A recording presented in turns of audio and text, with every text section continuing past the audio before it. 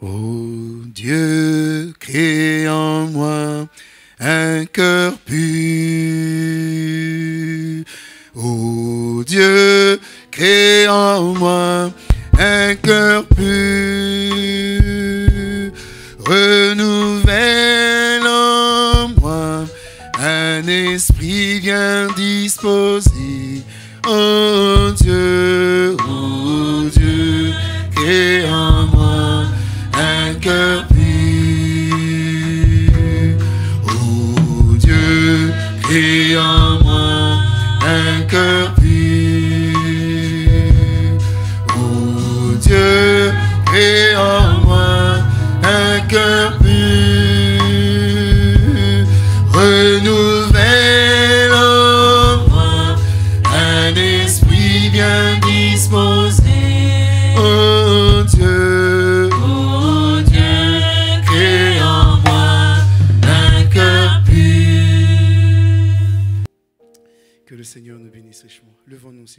Un psaume.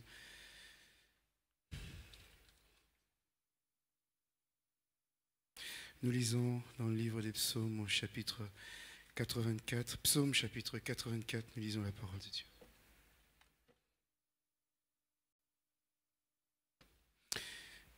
Psaume chapitre 84.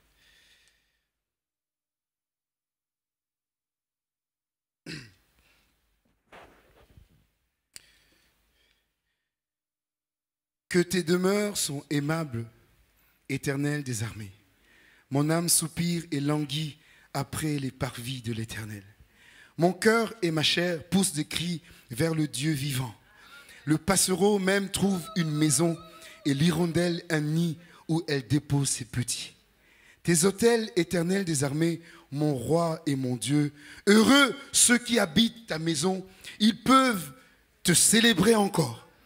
Heureux ceux qui placent en toi leur appui, ils trouvent dans leur cœur des chemins tout tracés. Lorsqu'ils traversent la vallée de Baca, ils la transforment en un lieu plein de sources. Et la pluie la couvre aussi de bénédictions.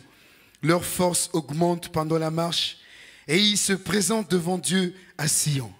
Éternel, Dieu des armées, écoute ma prière. Prête l'oreille, Dieu de Jacob. Toi qui es notre bouclier, vois, ô Dieu, et regarde la face de ton oint. Mieux vaut un jour dans tes parvis que mille ailleurs. Je préfère me tenir sous le seuil de la maison de mon Dieu plutôt que d'habiter sous les tentes de la méchanceté. Car l'Éternel Dieu est un soleil et un bouclier. L'Éternel donne la grâce et la gloire. Il ne refuse aucun bien à ceux qui marchent dans l'intégrité. Éternel des armées, heureux l'homme qui se confie en toi. Amen. Mon âme bénit l'éternel, car il est digne de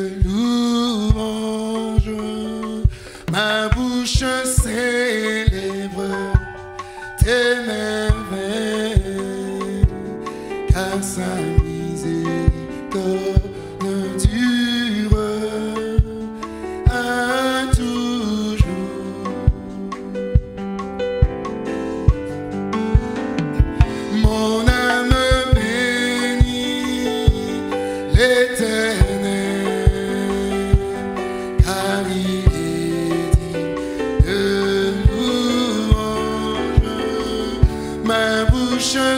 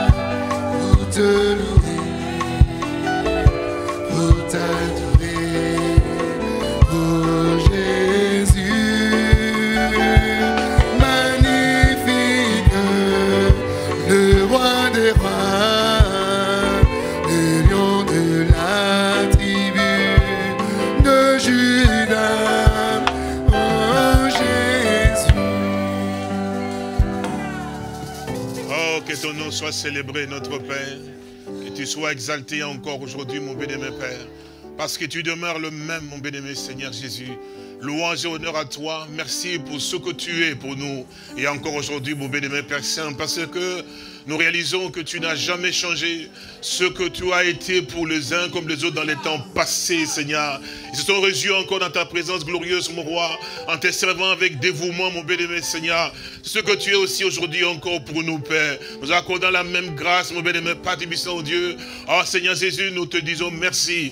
Merci vraiment de nous faire bénéficier de ton amour, de voir combien tu es miséricordieux et, là, en la colère, riche en bonté, mon bien-aimé Seigneur. Tu es vraiment le plus doux, Père Saint-Dieu. Merveilleux est ton nom, mon bénémoine Père Tibissant. Combien nous sommes consolés, Seigneur, voir réellement aussi t'avoir et marcher aussi avec toi dans ces temps où nous vivons, mon bénémoine Père Saint-Dieu, où nous étions, Père sans espérance, sans foi, sans Dieu. Père Saint-Dieu, mais tu es venu à notre rencontre, Père Tibissant Dieu, pour que nous puissions avoir l'espérance, mon bénémoine Père Saint-Dieu, que ton Saint-Nom soit exalté, Père. Louange et honneur à toi pour ton peuple qui est rassemblé en cet endroit, pour les chants les cantiques, mon bénémoine Père Saint-Dieu, qui ont été chantés en ton honneur à toi, à ta gloire à toi, mon Seigneur Jésus. Et tu vois le cœur de ton peuple. Tu vois aussi l'attente, Père Tubissant. Chacun de nos pères, nous attendons de ta part, béni, Père Tubissant, cette grâce de bénéficier de ta visitation, mon Seigneur béni. Visiter chacun de nous encore, béni, dans ce temps, parce que nous avons besoin de toi pour continuer la marche, mon Seigneur. Fortifie les membres languissants, mon béni, Père Saint-Dieu.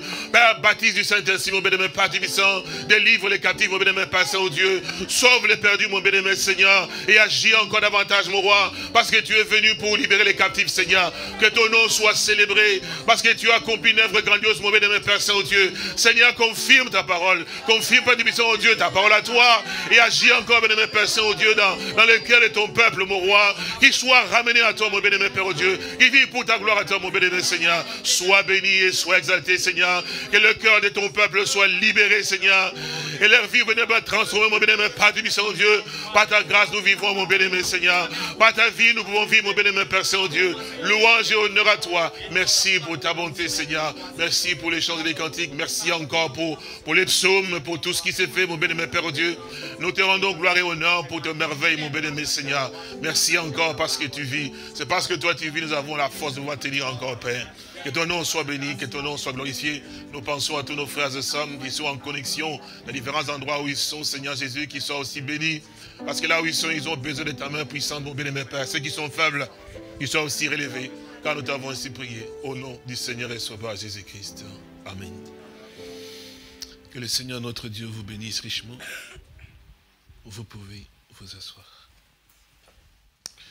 Nous rendons gloire à notre Seigneur et nous le remercions pour sa bonté, son amour et sa grâce et ses compassions à notre endroit et pour ce qu'il fait pour nous. Qu'il soit donc béni et, et exalté dans sa bonté, dans son amour et dans sa grâce. Merci pour la force et aussi pour la santé qu'il nous donne et pour tout ce qu'il fait aussi pour nous. Nous le remercions pour cela et pour chacun de vous aussi. Que le Seigneur vous bénisse, ou tous qui êtes venus de loin comme de près. Et ce matin, je suis heureux de pouvoir vous revoir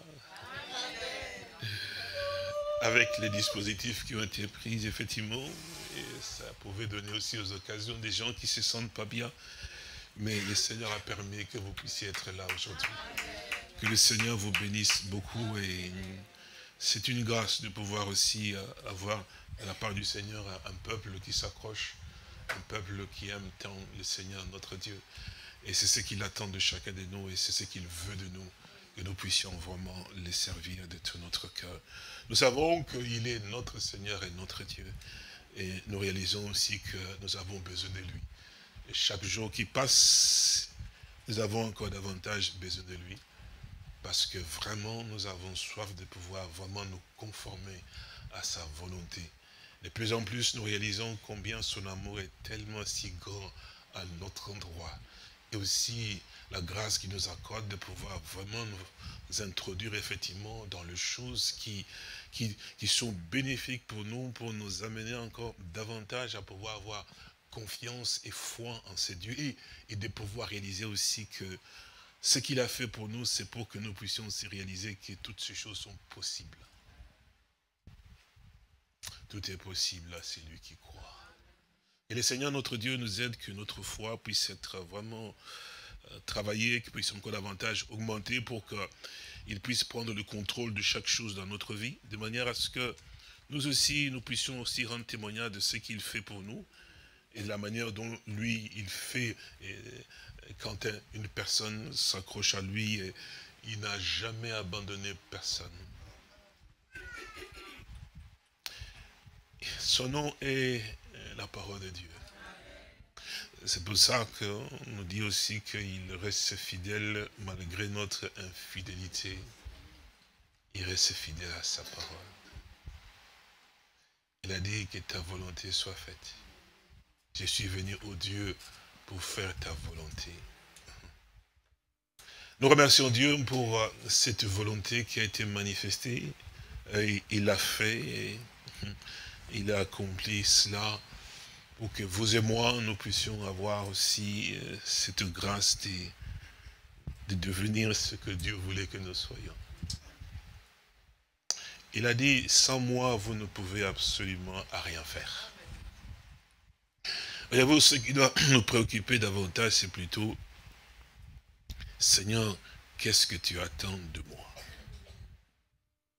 En tant qu'un homme, j'ai beaucoup de projets que je dois faire, un être humain, mais est-ce que mes projets en question sont plus importants que ce que toi tu voudrais faire de moi?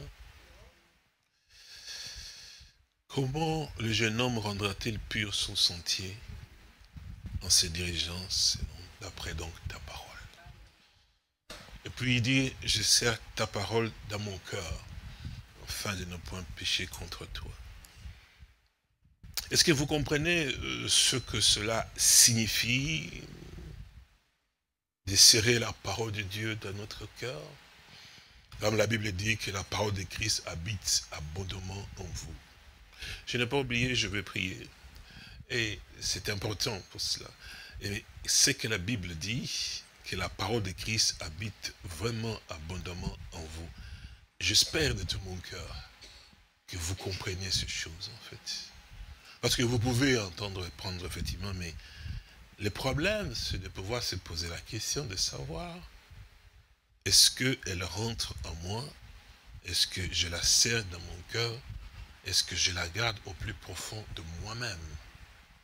Nous prions Dieu qui nous aide, accorde ce secours et ce soutien pour que nous prenions conscience effectivement de ce qu'il fait pour nous. Comme il est bon, il nous accorde la joie dans notre vie, il ne cesse de pouvoir nous donner aussi des bébés. Mhm. C'est là la grâce que nous avons. Le Seigneur est vraiment bon. Chaque vie qui vient sur la terre, c'est la grâce de Dieu. C'est la bénédiction du Seigneur, notre Dieu. C'est pour ça que nous voulons le remercier pour ce qu'il a fait. Je voudrais demander qu'on appelle Hope, qu'on amène, Hope ici par ses parents. Nous allons nous lever pour euh, prier pour Hope.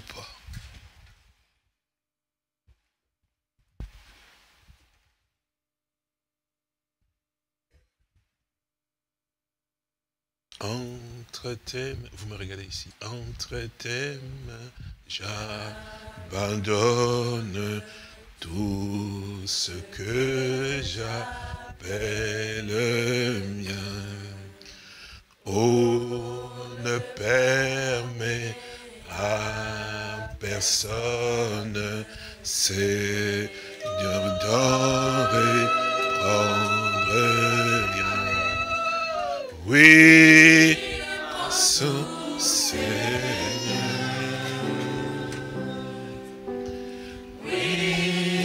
Prends tout, Seigneur. Entre tes mains, j'abandonne tout avec vous voyez cet enfant? Vous vous souvenez pourquoi? Prince vous a demandé pardon? Je pose la question. Vous vous souvenez, Prince vous a demandé la pardon tout à l'heure. Enfin, ici, vous lui avez pardonné Alors voici l'enfant, la fille du prince.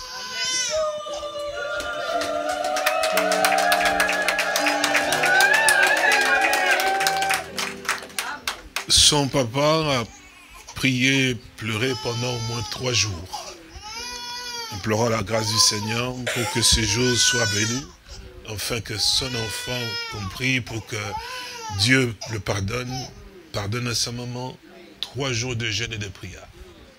Pardonne à sa maman, qui pardonne aussi à lui pour ce qui s'est passé, mais que Dieu agrée cet enfant et que Dieu bénisse cet enfant. Est-ce que vous voulez aussi prier pour cet enfant? Oui, prends tout, oui, prends tout, Seigneur. Prends tout, Seigneur. Entre tes mains,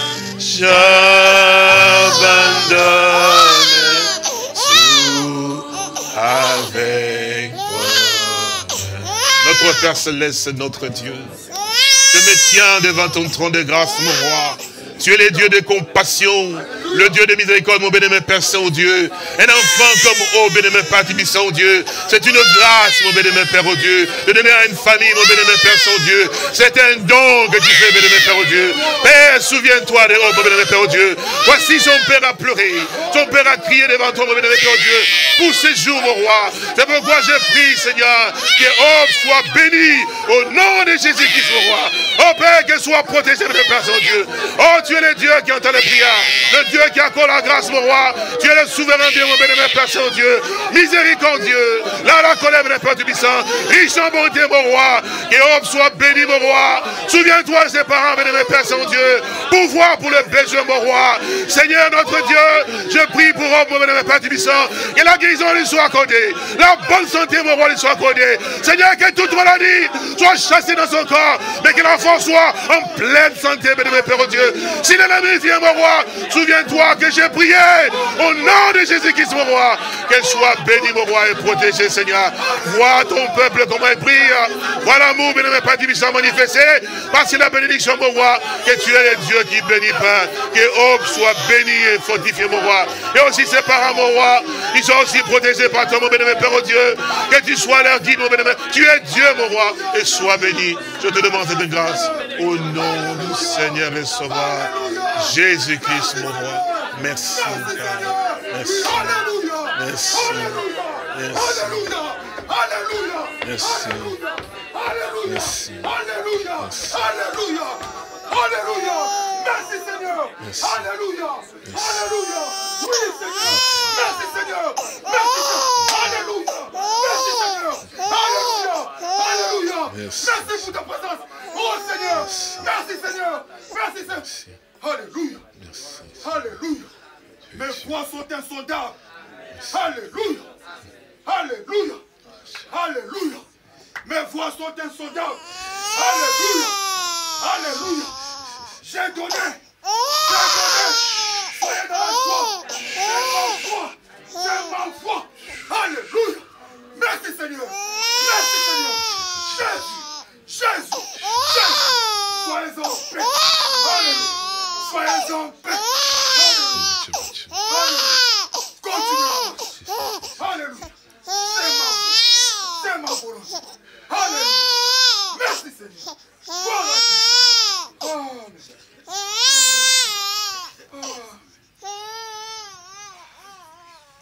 Oui, prends tout, oui, prends tout, Seigneur. Oui, prends tout, Seigneur. Entre tes j'abandonne tout avec bonheur. Alors que nous sommes debout, nous allons prendre nos Bibles dans le livre des Hébreux.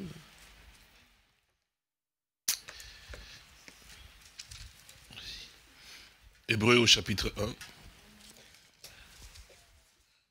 Mon frère jeunesse, regarde un peu si j'ai un mouchoir. Je croyais avoir un mouchoir dans mes poches ici. Ah, non, non, non, reste là. Ah oui, c'est vrai, je me suis changé les poches. Hébreux chapitre 1. À partir du verset 1. Après avoir autrefois, à plusieurs reprises et de plusieurs manières, parlé à nos pères par les prophètes, Dieu, dans ces derniers temps, nous a parlé par le Fils, qu'il a établi, donc, héritier de toutes choses par lesquelles il a aussi créé le monde, et qui étant donc le reflet de sa gloire et l'empreinte de sa personne, et soutenant toutes choses par sa parole puissante, a fait la purification des péchés et s'est assis à la droite de la majesté divine dans le lieu très haut devenu d'autant supérieur aux anges, qu'il a hérité d'un nom plus excellent que le leur. Amen. Notre Père et notre Dieu, nous voici devant ton trône de grâce. Tu es présent, mon Seigneur bien-aimé. Nous voulons te dire merci pour euh, ta présence glorieuse, mon roi, qui réjouit et console nos cœurs, bien-aimé Père. Nous te demandons grâce encore aujourd'hui, parce que nous venons de lire ta parole à toi. C'est toi qui es l'auteur tu réjouis vraiment nos cœurs, mon roi. Je t'en suis vraiment reconnaissant personnellement, Père, pour euh, ton amour à notre endroit, de la manière dont tu ouvres les livres, tu nous conduis, Père Saint-Dieu. Seigneur Jésus, que tu reçois donc la, reconnaissance, Père Saint-Dieu, pour cette grâce que nous avons trouvée à tes yeux. Pardonne-moi, mon Père Saint-Dieu, j'ai des faiblesses aussi, de manquements, Père Saint. Je ne suis qu'un homme sujet vraiment à beaucoup d'erreurs, mon roi. Ne regarde pas mes manquements, Père Saint-Dieu ni mes faiblesses, ni mes erreurs, mon sauveur bien-aimé Père Saint-Dieu, parce que c'est ta parole, je ne suis qu'un homme, je peux commettre des erreurs, mais si toi tu viens m'aider, Père Dieu, oh Dieu, nous pourrons entendre ta voix, toi, et nous alignerons simplement. Ton peuple n'a vraiment pas besoin de moi, il a vraiment besoin de toi, Seigneur. C'est pourquoi je t'implore la grâce, oh Dieu, que je disparaisse, certainement c'est vrai, mais que toi, tu puisses parler, Oh Dieu, enlève ce que moi je peux avoir conçu, Père Saint-Dieu, qui n'est pas de toi, même avoir pensé, Seigneur Jésus, que ça ne sorte pas de ma bouche, que celle ta parole à toi me soit donnée, car j'étais ainsi prié, Père, au nom de Jésus-Christ. Amen. Vous pouvez vous asseoir. Nous remercions notre Dieu pour euh, ses compassions à notre endroit et sa grâce extraordinaire qu'il a l'a manifesté et qui, jusqu'à ce jour encore, il continue à pouvoir le manifester. Nous sommes dans une période tout à fait particulière et de voir le Seigneur, notre Dieu, se manifester et agir effectivement aussi dans, son peuple et aussi de la manière dont il ouvre davantage pour que nous puissions être participants de toutes ces choses-là. Pour autant que nous puissions euh, retenir ce que euh, le Seigneur, notre Dieu, euh, nous donne. Il nous est toujours nécessaire que nous comprenions que dans les Saintes Écritures, il est toujours dit, et ça c'est une pensée, c'est une chose que vous devez garder effectivement dans votre cœur et dans votre esprit continuellement. Et je vous le demande parce que c'est tellement important, parce que la Bible dit que tout homme soit reconnu pour menteur. Je le répète encore, que tout homme soit reconnu pour menteur, mais que Dieu seul soit reconnu pour vrai. C'est une exigence que vous devez garder dans votre cœur, dans votre âme. Et c'est pour ça que vous devez toujours savoir que si quelque chose est dit, il faut toujours se poser la question, que disent donc les saintes écritures? Jamais euh, prendre quelque chose qui n'est pas confirmé dans la parole de Dieu. Il faut que la parole de Dieu puisse arriver à pouvoir confirmer. Et nous savons que si cela est confirmé dans les saintes Écritures, alors nous sommes sûrs et certains que c'est Dieu qui nous parle et que nous faisons aussi la volonté de Dieu. Parce que la Bible le fait savoir aussi, hein, ce n'est pas en suivant des fables habilement conçues ou euh, qu'aucune parole de l'écriture ne pouvait être une interprétation particulière. Donc effectivement, nous devons rester et demeurer dans la parole de Dieu. C'est pour ça qu'il est toujours important que chacun de vous, peu importe où vous êtes, soit là, chez vous, dans les différentes connexions, différents endroits, différents pays où vous pouvez vous trouver, il est absolument important de toujours avoir la Bible avec soi. Et quand on apporte la parole de Dieu, il faut que vous ayez la Bible pour vérifier. Moi, j'aime beaucoup les, les chrétiens de Béret les disciples de Béret, euh, quand Paul prêchait, ils, acceptaient, mais ils vérifiaient toujours les choses pour savoir si ces choses étaient réellement conformes aux saintes écritures. C'est ce que le Seigneur, notre Dieu, veut de vous, de tout un chacun de vous. Ne vous emportez pas parce que ça ne correspond pas à votre imagination. Ce n'est pas votre imagination que Dieu veut. C'est sa parole, la foi dans sa parole. Alors si vous voulez les saluts, accrochez-vous à ce que Dieu dit. Donc quand les saintes écritures disent, ah, ah ben nous disons que ça c'est ce que Dieu a dit. Et nous devons rester effectivement conformément à cela. Dans les livres des Hébreux que nous avons eu à pouvoir lire, que nous avons commencé depuis un moment. J'insiste toujours sur euh, le verset que vous voyez bien, que nous commençons, le verset, le chapitre 1, à partir du verset 1, effectivement aussi. Parce que là-dedans, nous, nous avons pu voir qu'il nous a montré des choses tellement profondes qui démontrent effectivement que dans l'actualité aujourd'hui, les Saintes Écritures nous ont été dans l'actualité aujourd'hui pour que nous puissions vraiment être dans l'actualité et aussi dans le programme de Dieu et qu'on soit sûr et certain que, en tout cas, nous marchons selon les Seigneurs, selon sa parole, et que nous sommes véritablement dans le programme et que nous voyons en réalité là où, nous nous trouvons. Il a dit, au temps du soir, il y aura la lumière. Et nous comprenons qu'effectivement que si la lumière nous a été donnée, ce qui veut dire que nous ne pouvons pas marcher donc dans les ténèbres, parce qu'il n'est pas nécessaire. C'est-à-dire qu'à moins que nous voulons nous enfermer dans la cave et que nous ne voulons pas voir les soleils briller dehors, mais nous savons que les soleils brillent, même si on s'enferme dans la cave, mais dehors les soleils brillent. C'est pour ça, notre désir à nous tous, effectivement, mes frères et sœurs, c'est de chercher à ce que notre logique ne fonctionne plus, notre façon de pouvoir penser ne fonctionne plus. Souvenez-vous de ce que je vous ai montré tout à l'heure ici. Donc, la fois passée que j'ai fait, Jonas m'avait amené, c'était cette bouteille d'eau. Ne prenez pas la légère ce que vous entendez, parce que ça va vous coûter cher.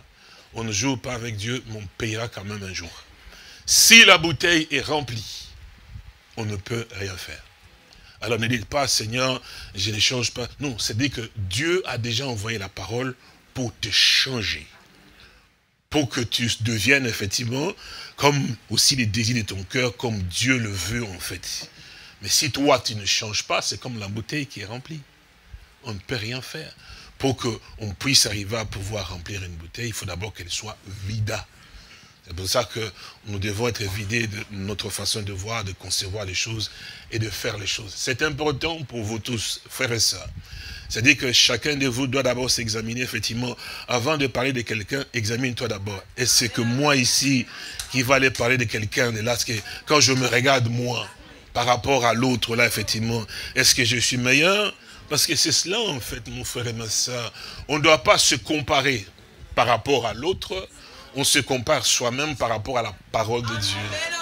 Ça, ça doit être... C'est pour ça que je ne vais pas de défilé inutile.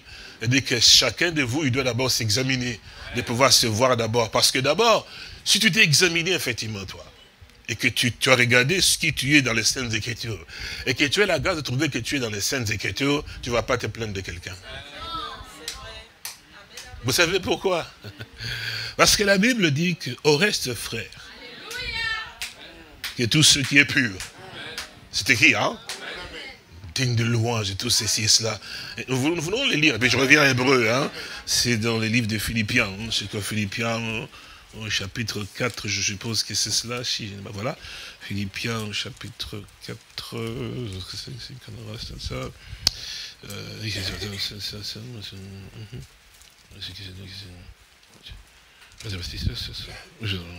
voilà, Philippiens chapitre 4, pardon, 4, euh, le verset, d'abord 4, il dit, Réjouissez-vous toujours dans le Seigneur, je le répète, réjouissez-vous, que votre douceur soit connue de tous les hommes. Le Seigneur est proche.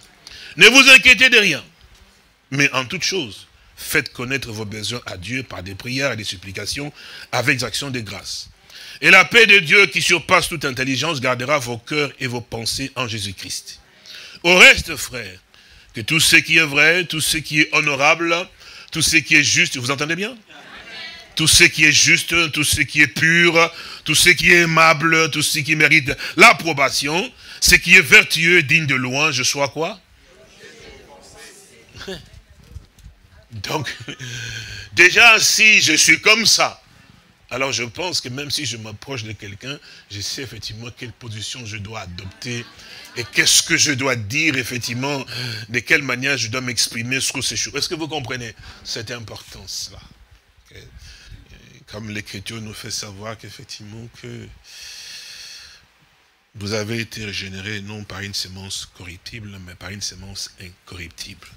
Je crois que c'est dans le livre d'un Pierre, je suppose. Hein. Nous lisons cela, c'est dans un Pierre, je pense que c'est cela. Un Pierre, chapitre 1. Qu'est-ce qu'on est J'aime beaucoup cela. 1 Pierre chapitre 1 verset 22 dit « Ayant purifié vos âmes en obéissant à la vérité pour avoir un amour fraternel sincère, aimez-vous ardemment les uns les autres de tout votre cœur, puisque vous avez été régénérés non par une sémence corruptible, mais par une sémence incorruptible, par la parole vivante et permanente de Dieu. Amen. » Donc nous comprenons effectivement que euh, ce que Dieu attend effectivement de nous, ce que la parole divine de Dieu pénètre dans notre cœur et qu'elle fasse effectivement son travail, afin que nous puissions réellement voir si nous prenons position dans la parole de Dieu et que nous prenons part effectivement au programme et au plan de notre Seigneur. C'est nécessaire, frères et sœurs, parce que tout ce que vous entendez, si ça ne trouve pas la place dans votre cœur, mais ça ne vous sert absolument à rien. C'est ce que je pense que dans 1 Corinthiens chapitre 13, il dit aussi, quand j'aurai la connaissance de tous les mystères, quand je serai même moi pur à mes yeux, d'une certaine manière ou d'une autre, effectivement, je même mon cœur mon corps à être brûlé, tout ceci. Ah, mais si je n'ai pas donc euh, cette euh, charité, je ne suis rien. Je suis comme une cymbale. Je vais lire cela en Corinthiens chapitre 13, que nous comprenions parce que nous entrons quand même dans les choses qui sont importantes. En Corinthiens chapitre 13, il dit, verset 1, quand je parlerai les langues des hommes et des anges, si je n'ai pas l'amour, donc la charité, comme il est écrit, je suis un airain qui résonne ou une cymbale qui retentit. Et quand j'aurai même les dons de prophétie, la connaissance de tous les mystères, et toute la connaissance, quand j'aurai même toute la foi jusqu'à transporter des montagnes, si je n'ai pas cet amour-là, la charité, je ne suis rien. Et quand je diserai même tous mes biens pour la nourriture de pauvres, et quand je livrerai même mon corps pour être brûlé, si je n'ai pas la charité, cela ne me sert de rien. La charité est patiente, vous entendez cela? Elle est pleine de bonté. Vous comprenez ce que c'est plein de bonté? La charité n'est point envieuse, la charité ne se vante point, ne s'enfle point d'orgueil. Elle ne fait rien de malhonnête, elle ne cherche point son intérêt, elle ne s'irrite point, ne soupçonne point le mal. Euh, elle ne se réjouit point de l'injustice, mais elle se réjouit de la vérité. Elle excuse tout, elle croit tout, elle espère tout, elle supporte tout. La charité ne périt jamais. Les prophéties prendront fin, les langues cesseront, la connaissance disparaîtra. N'est-ce pas? Donc, car nous connaissons en partie et nous prophétisons en partie, mais quand ce qui est parfait sera venu, ce qui est partiel disparaîtra. Lorsque j'étais enfant, je parlais comme un enfant, je pensais comme un enfant, je redonnais comme un enfant. Lorsque je suis devenu homme, j'ai fait disparaître ce qui est l'enfant, ce qui était de l'enfant. Aujourd'hui, nous voyons au moyen d'un miroir, d'une manière aussi obscure, mais alors, nous verrons face à face. Aujourd'hui, je connais en partie, mais alors je connaîtrai comme j'ai été connu. Maintenant donc, ces trois choses demeurent. La foi, l'espérance, la charité. Mais la plus grande de ces choses, c'est là. Donc, sa charité, donc, vous comprenez, donc, c'est l'Esprit du Seigneur. Donc, nous prions que le Seigneur, notre Dieu, nous aide, enfin, que nous puissions avoir ces dispositions dans nos cœurs, alors que nous écoutons la parole de Dieu, pour que réellement, on n'écoute pas pour les voisins, mais on écoute pour soi-même afin que nous puissions voir effectivement où le Seigneur nous conduit. Dans les Hébreux au chapitre 1, comme nous l'avons lu effectivement, nous remarquons que le Seigneur nous, nous montre effectivement qu'il y a donc ce, changement dans les dispensations, effectivement, que nous sommes passés de, là, effectivement, aussi, de ce changement où Dieu nous parlait par les prophètes, et de passer maintenant à, à ce changement où Dieu nous parle maintenant par le Fils. Nous avons vu cela, et nous avons remarqué une chose qui est très importante, effectivement, qui est écrite dans le livre des Hébreux, euh, au chapitre 8, c'est cela aussi où le Seigneur nous fait parler de cela que nous avons lu la fois passée, Hébreu au chapitre 8, nous montrant qu'effectivement, que nous l'avons lu, que le point capital de ce qui vient d'être dit, c'est que nous avons un tel souverain sacrificateur qui s'est assis à la droite du trône de la majesté divine dans les cieux, comme ministre du sanctuaire et du véritable tabernacle qui a été dressé par les seigneurs et non par un homme. verset 6, il dit, mais maintenant il a obtenu un ministère d'autant supérieur qu'il est le médiateur d'une alliance plus excellente qui a été établie sur de meilleures promesses. Alors nous comprenons que nous avons lu aussi que le Seigneur étant maintenant dans ses sanctuaires, il est ministre du sanctuaire et du tabernacle, effectivement, c'est qu'il y a un ministère qui est exercé là-dedans. Et alors, nous avons aussi compris qu'effectivement, c'est comme ça que nous avons lu dans les Saintes Écritures, là nous avons lu dans les livres de Corinthiens, je crois que c'était des Corinthiens au chapitre 3, nous avons remarqué que quelque chose d'extraordinaire s'est passé. C'est là que le Seigneur nous a montré qu'effectivement, que même dans l'ancienne alliance, avait donc dans les tabernacles, effectivement, aussi, le souverain sacrificateur exerçait aussi son ministère. Et puis, la Bible nous fait comprendre qu'effectivement, que ça, c'était donc le ministère, effectivement, de la mort et de la condamnation. Nous avons la projection Donc, et donc, dans l'ancienne alliance, effectivement, le ministère qui s'exerçait effectivement là-bas, comme la Bible le fait savoir, c'est un ministère, effectivement, ah oui, mais tu prends ta... De manière à ce que nous puissions... Non, le ministère de la mort et de la condamnation, c'est cela. Et ça, c'est dans l'ancienne alliance. Et dans la nouvelle alliance, effectivement, nous avons le ministère de l'esprit et de la justice. Et là, nous voyons qu'effectivement, ici, donc dans ces ministères-là, on a vu effectivement comment euh, cela s'opérait effectivement en rapport avec... Tu as la possibilité de pouvoir nous donner la deuxième partie à l'arrière.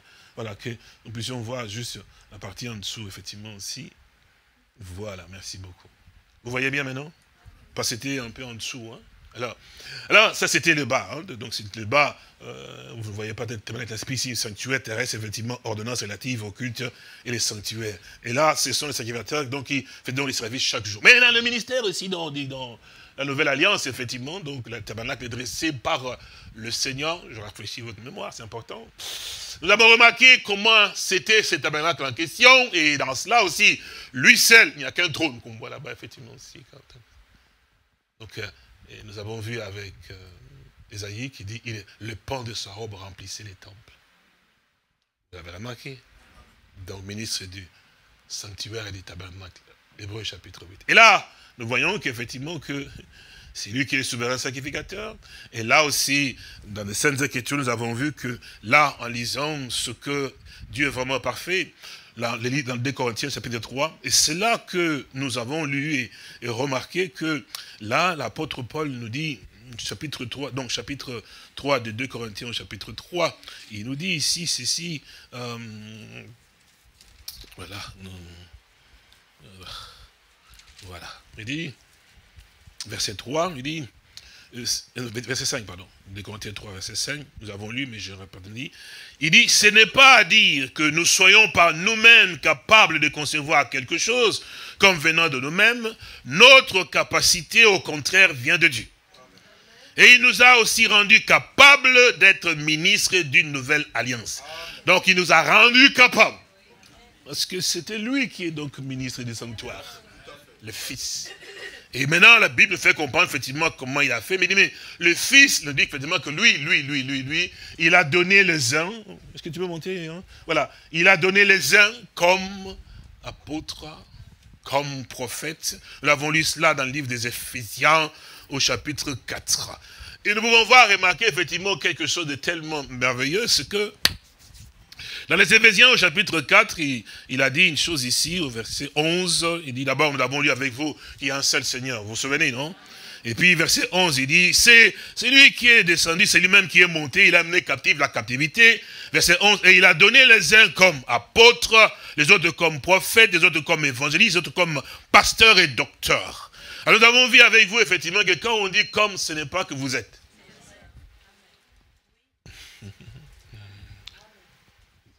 C'est quand même français. Il a donné comme. Alors d'abord, s'il remarqué effectivement que s'il a dit, il a donné les uns comme apôtre, comme prophète, parce qu'il n'y a qu'un seul, lui seul, il est rempli effectivement, il opère de ces opérations effectivement, donc il est à la fois prophète lui-même, et aussi apôtre. Vous l'avez lu, nous l'avons lu avec vous. Donc il nous dit ici, il a fait cela pour le perfectionnement des saints, en vue de l'œuvre du ministère et de l'édification du corps de Christ, jusqu'à ce que nous soyons tous parvenus à l'unité de la foi et la connaissance du Fils de Dieu à l'état Un Seigneur. Alors, nous remarquons qu'effectivement, il a donné, lui, des ministères.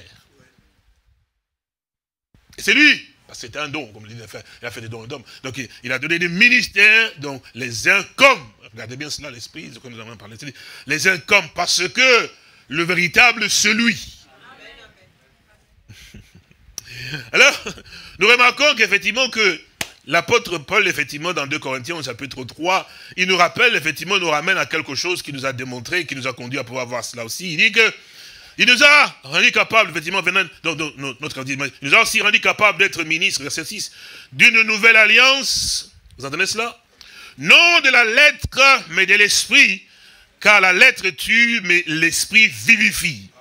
Et puis, il explique effectivement verset 7, en réalité, avec euh, le ministère de la mort, pour maintenant démontrer, en fait, le ministère de l'esprit. Il dit ici, verset 6, verset 8, pardon, vous me dites, non, peut mais verset 7. Or, si le ministère de la mort, gravé avec des lettres sur les pierres, a été glorieux au point que les filles d'Israël ne pouvaient pas fixer les regards sur le visage de Moïse à cause de la gloire de son visage, bien que cette gloire fût passagère, combien le ministère de l'esprit, avec eux majuscule, ne sera-t-il pas plus glorieux donc effectivement, c'est là qu'on apprend effectivement, comme nous l'avons eu à pouvoir le voir effectivement, qu'il y a le ministère de l'esprit et là, et le ministère effectivement de la mort. Alors qu'est-ce que cela veut dire en réalité? C'est quelque chose de très important parce qu'il dit qu'il est nécessaire que vous prêtiez attention pour que vous puissiez comprendre ces choses-là. D'abord, c'est absolument nécessaire, comme la question qui avait été posée quand est-ce que euh, la fin des temps, dans ce temps, la fin, la fin des temps, vous connaissez, non? A commencé par rapport à Hébreu chapitre 1 que nous avons lu. Dieu dans ces derniers temps. Vous vous souvenez, non? On a posé la question, effectivement, pour savoir quand est-ce que les derniers temps donc, ont commencé, donc la fin des temps. Vous vous souvenez? Nous avons vu par les Saintes Écritures que ce qui a été dit. Donc, chacun de vous est convaincu. Bon, maintenant, on nous parle effectivement, en réalité, du ministère de l'Esprit. Est-ce que vous me suivez? Ministère de l'Esprit. Maintenant, la question que je peux poser, que vous pouvez poser, qui peut venir à l'esprit aussi, qui peut être, peut-être, je vous l'ai dit, il dit, mais quand est-ce que le ministère de l'Esprit a commencé? Parce que le ministère de la mort, effectivement, a fait son travail. Vous suivez? Maintenant, on nous parle du ministère de l'Esprit on doit aussi savoir quand même que le ministère de l'Esprit, à quel moment il a commencé. Vous voulez savoir, non? C'est important, effectivement, pour que vous puissiez voir combien Dieu est parfait dans ce qu'il fait. C'est important que vous puissiez comprendre ces choses pour que, même quand vous tiendrez devant quelqu'un, vous puissiez être sûr de ce que vous avez reçu. Pas d'un homme, mais de la Bible. Pas d'un homme, mais du Seigneur lui-même. Alors, quand est-ce que le ministère de l'Esprit a commencé? Alors regardez une chose qui est très importante ici. Nous avons eu à pouvoir voir dans les Saintes Écritures que il s'est passé quelque chose. C'est que c'est la période de la transition ici. Vous voyez? Et qui nous a aussi introduit effectivement dans la fin, effectivement. Donc, euh, ça s'est terminé. Et là commence une autre dispensation. Vous remarquerez très bien que Jean-Baptiste a eu à pouvoir dire que voici donc l'agneau de Dieu qui ôte les péchés du monde en présentant le Seigneur.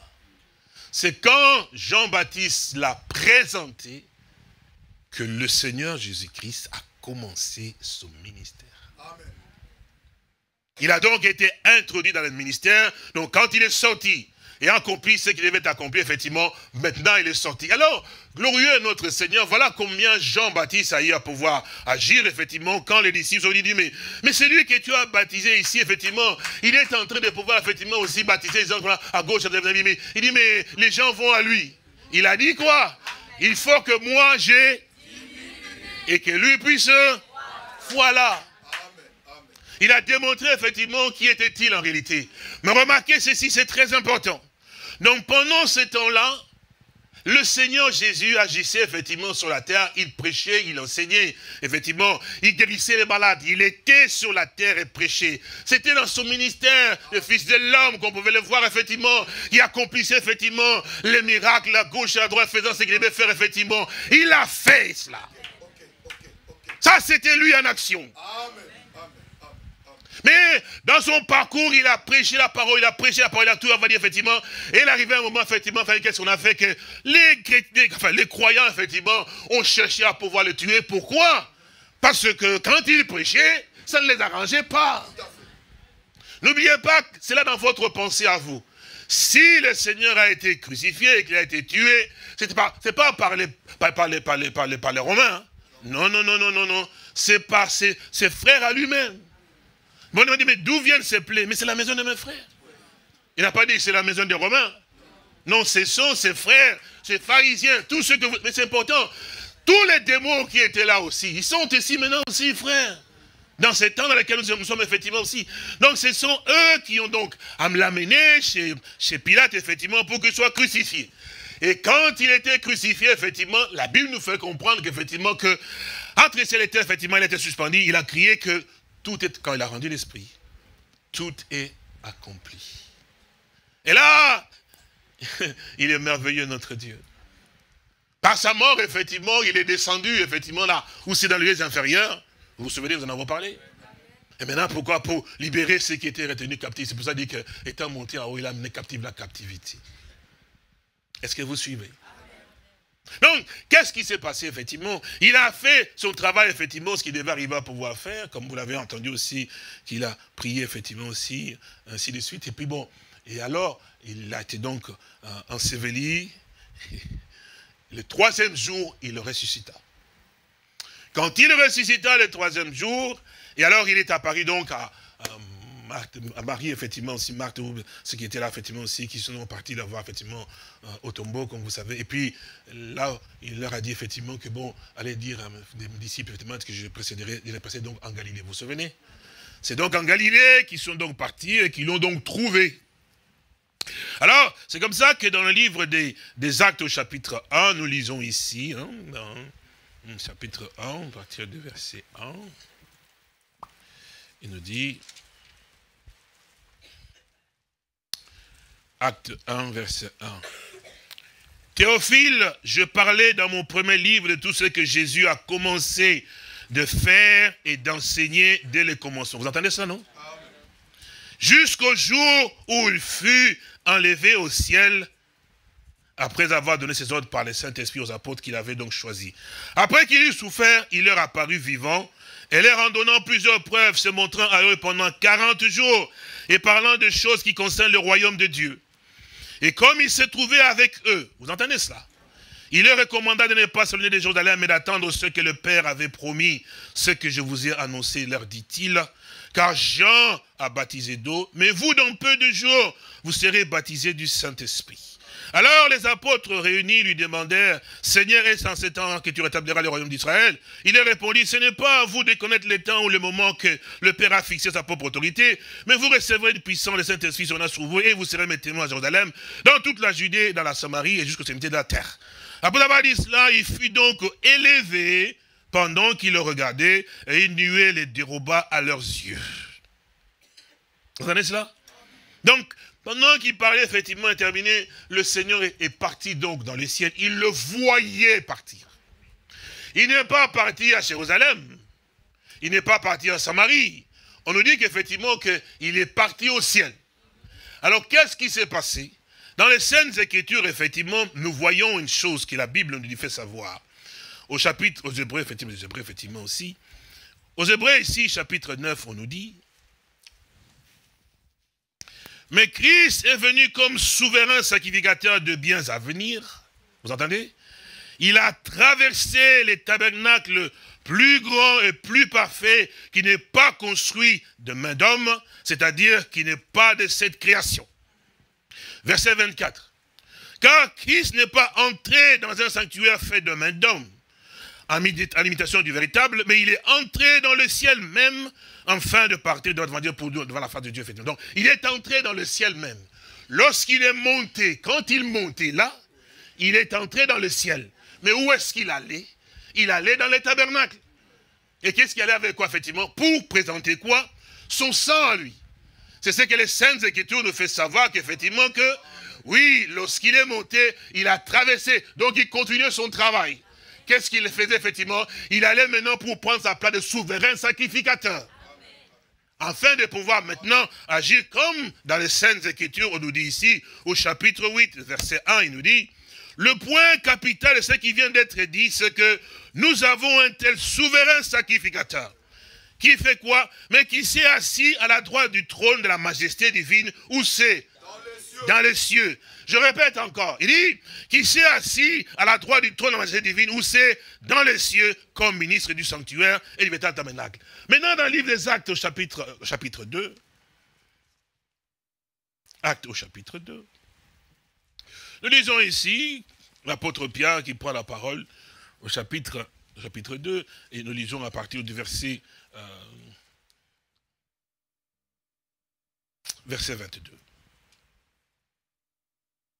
Homme israélite, écoutez ces paroles.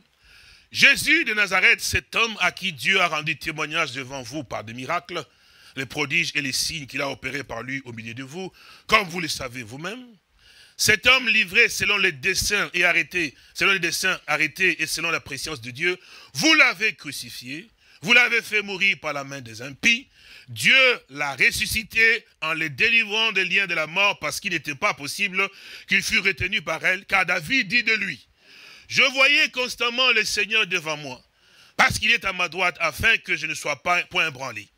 Aussi mon cœur est dans la joie et ma langue dans l'allégresse, et même ma chair reposera avec espérance. Car tu n'abandonneras pas mon âme dans le séjour de mort, et tu ne permettras pas que ton sein voie la corruption. Vous suivez? Tu m'as fait connaître les sentiers de la vie tu me rempliras de joie par ta présence. Homme, frère, qu'il me soit permis de vous dire librement au sujet du patriarche David, qu'il est mort, qu'il a été enseveli et que son sépulcre existe encore parmi nous aujourd'hui. Comme il était prophète, et qu'il savait que Dieu lui avait promis avec serment de faire asseoir un de ses descendants sur son trône, c'est la résurrection du Christ qu'il a prévu et annoncé en disant qu'il ne serait pas abandonné ce jour de mort et que sa chair ne verrait pas la corruption. Vous vous souvenez encore? Psaume 16. C'est Jésus, maintenant écoutez bien, que Dieu a ressuscité et nous en sommes tous témoins. Ils peuvent le dire parce qu'ils étaient témoins. Et puis il continue en disant, élevé où c'est par la droite de Dieu. Vous entendez cela? Qu'est-ce qu'il a reçu? Il a reçu du Père. Quoi? Le Saint-Esprit qui avait été promis, et il a répondu comme vous le voyez et l'entendez. Donc, comme la Bible nous le fait savoir, dans les livres des Hébreux au chapitre 8, on nous dit qu'il est assis effectivement à la droite du trône. Et ici, on nous dit effectivement élevé par la droite de Dieu. Et s'il est assis là, c'est parce qu'il est assis, effectivement.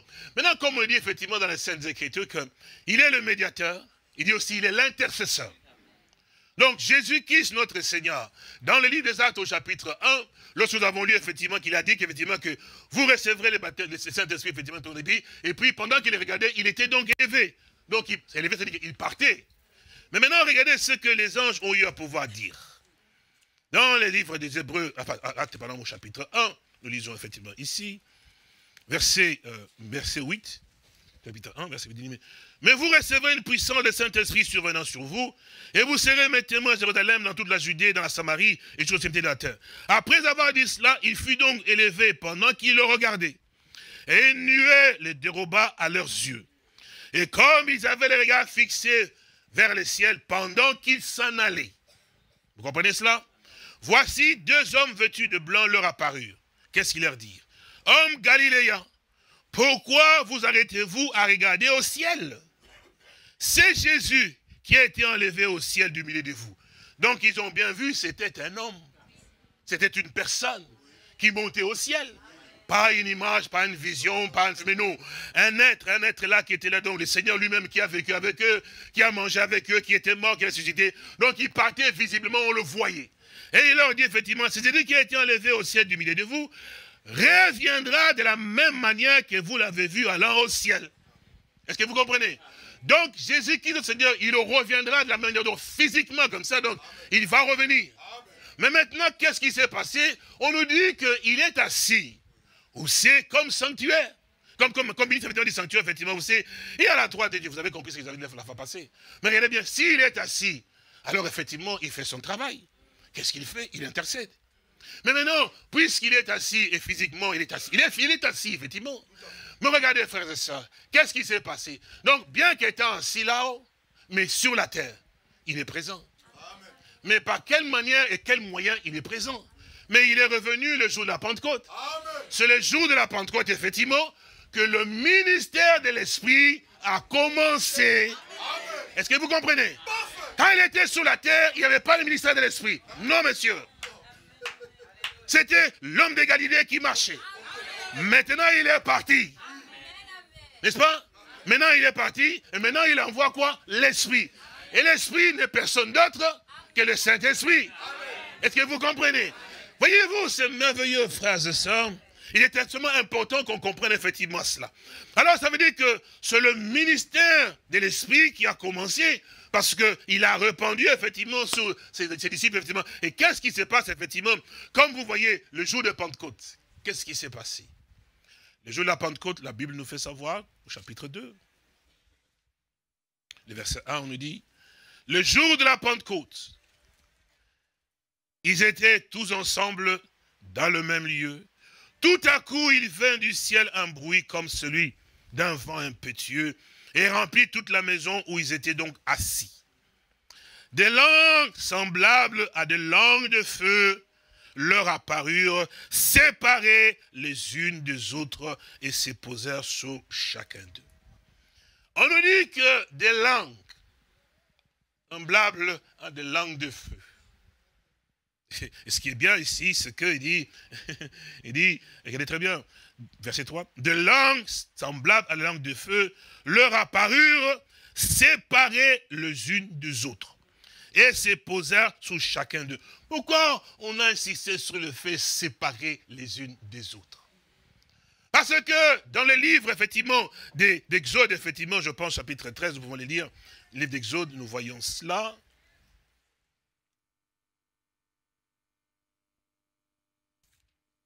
Je suppose que c'est... Oui, c'est pas... Dans les livres des Exodes, je pense que c'est notre 12 ou 13 que c'est là qui ah,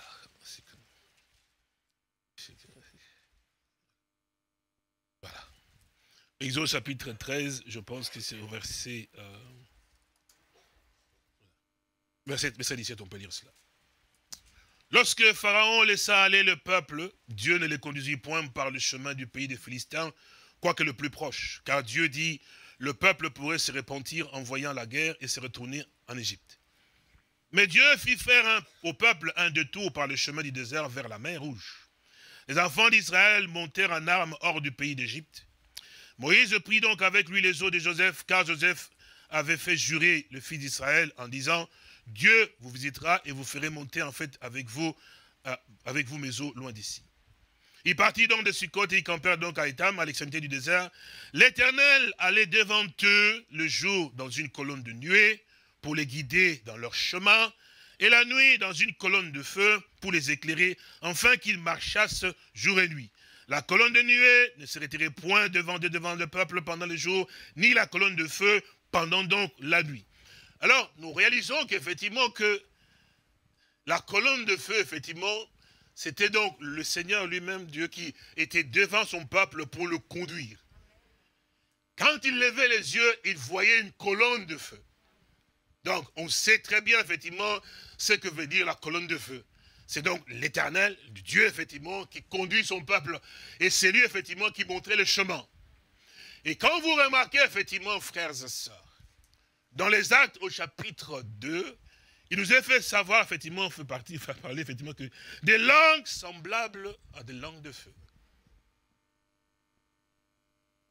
Séparèrent effectivement les unes des autres. Donc, les Yahvé de l'Ancien Testament, qui effectivement était cette colonne qui conduisait effectivement, qu'on pouvait voir une seule colonne qui, a, effectivement, qui identifiait effectivement sa présence, avec les prophètes qui étaient là, qui conduisaient effectivement. Maintenant, dans la nouvelle alliance, c'est Yahvé maintenant, il ne reste pas seulement pour pouvoir être sur le prophète, vous dites, ben, c'est par l'éternel. Mais maintenant, il est maintenant sur chaque âme.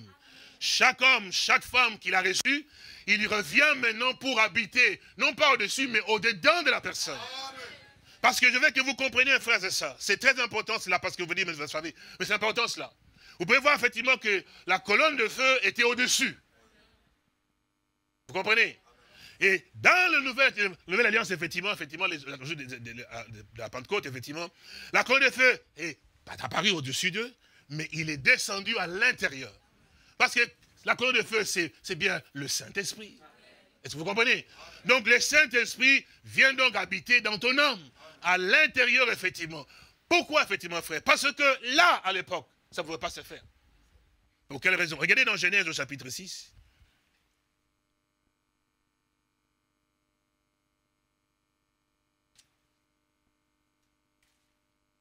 Genèse chapitre 6.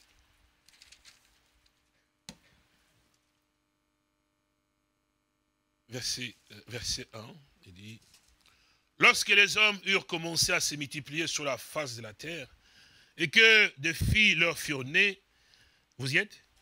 Le Fils de Dieu virent que les filles des hommes étaient belles, et ils ont pris effectivement pour femmes parmi toutes celles qu'ils en choisirent. Alors, écoutez bien, l'Éternel dit, mon esprit, c'est pas avec un petit E, hein, c'est avec un E majuscule. Mon esprit ne restera pas toujours où c'est. Vous entendez bien?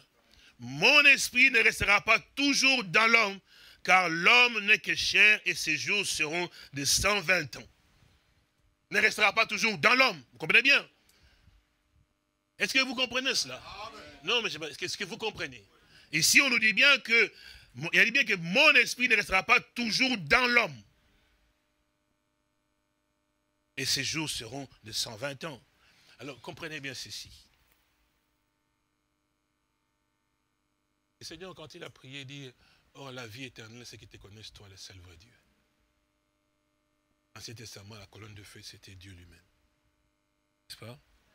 Et quand nous voyons dans, le Nouveau Testament, dans la, Nouvelle Alliance, effectivement, nous voyons que cette colonne de feu, maintenant, s'est divisée pour maintenant être répartie sur chaque âme, chaque âme, chaque personne.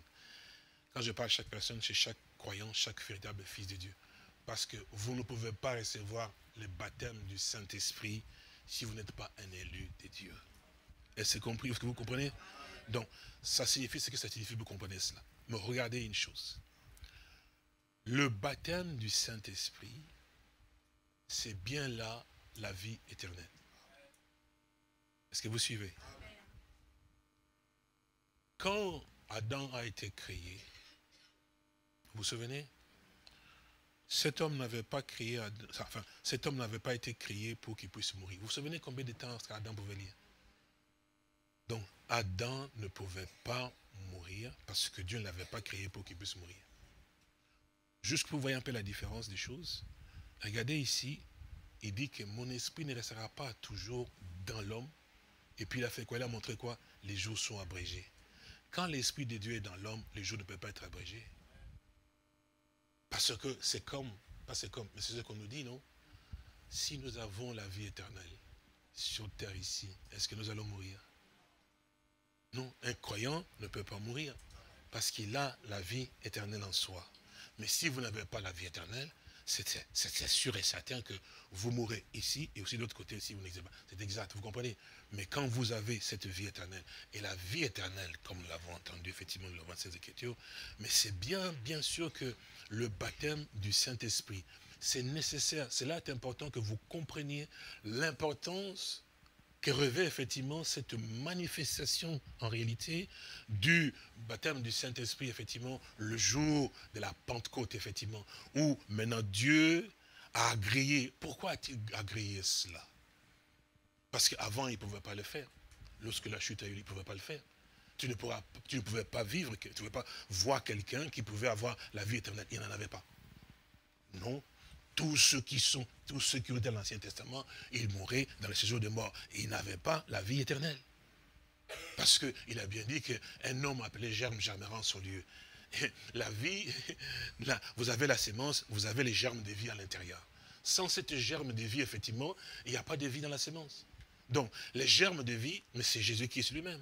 on nous dit qu'en elle était la vie. C'est pour ça que tous ces hommes-là ont eu à attendre jusqu'à ce que Christ, notre Seigneur, vienne. La preuve est laquelle? Parce que les jours où le Seigneur a été enseveli, qu'il est ressuscité, sorti du tombeau, tous les morts, effectivement, sont sortis aussi du tombeau. Mais pourquoi ne sont-ils pas sortis avant? Parce qu'ils n'avaient pas quelque chose qui pouvait les faire sortir du tombeau. Parce qu'ils n'avaient pas la vie. Mais la vie est venue par qui? Par Jésus-Christ. Donc cette vie maintenant, oui bien sûr, parce qu'ils avaient cette expérience. C'est pour ça qu'ils sont sortis maintenant. C'est pour ça que Job pouvait dire que je sais que mon Rédempteur est vraiment vivant. Et que même si mes yeux étaient pourris, si mes yeux à moi le verront effectivement. Vous voyez, ce ne sont pas des histoires que nous entendons, ou des histoires que non, ces gens-là étaient sérieux, ils étaient vraiment conscients de ce qui va réellement se passer.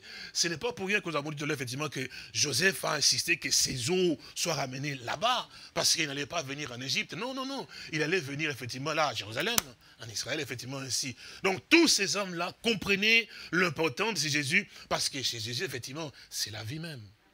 C'est pour ça qu'il a dit, c'est bon, restez jusqu'à ce que... Donc, le jour de la Pentecôte, c'est effectivement le jour où le Seigneur Jésus-Christ lui-même est venu effectivement sous forme du baptême du Saint-Esprit, sous forme de l'Esprit maintenant. Alors, si lui, il est venu comme cela, mais c'est pour quoi faire en réalité?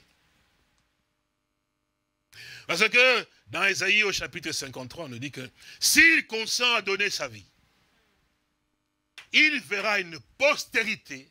Et qu'est-ce qu'il va faire? Il prolongera.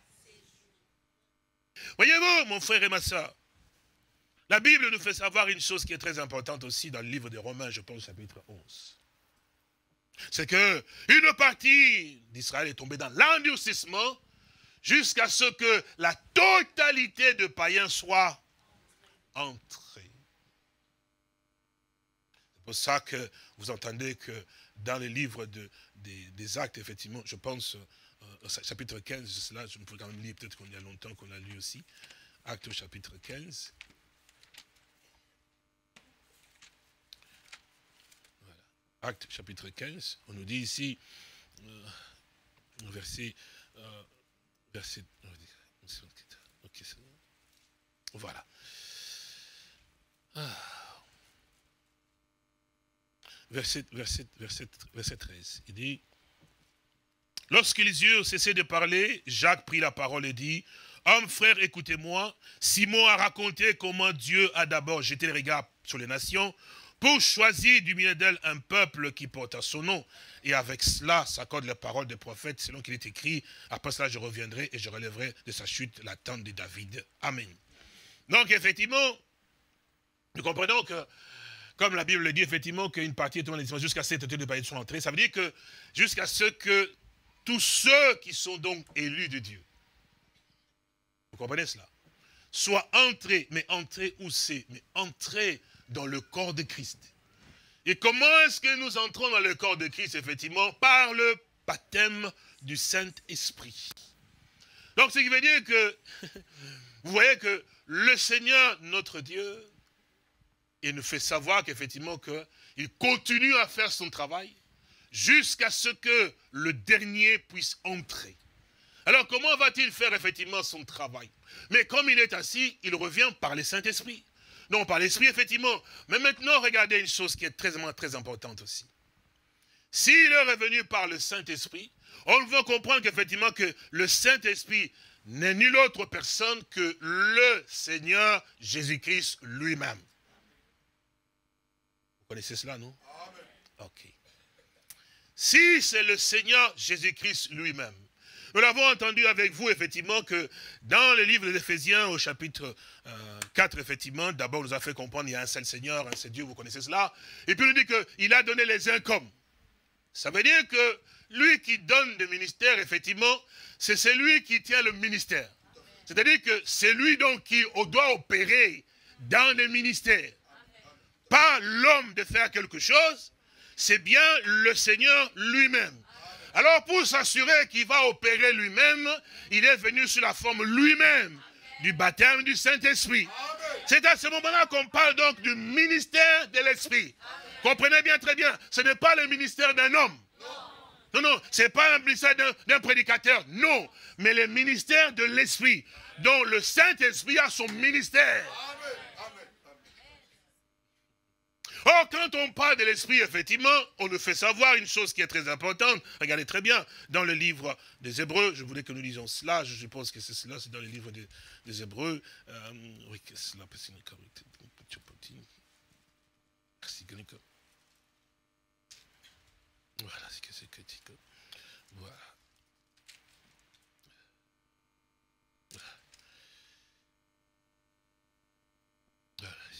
Dans le livre des Hébreux, oui, c'est cela, oui. Je pense que dans le verset.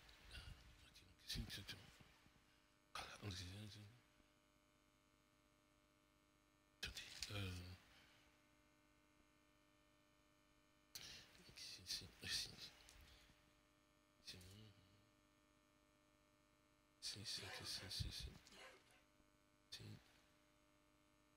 c'est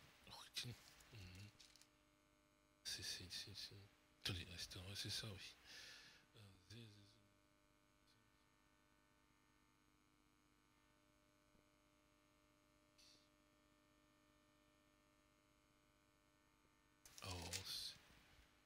Non, pardon, c'est dans 2 Corinthiens chapitre 3, je pense que c'est cela, oui.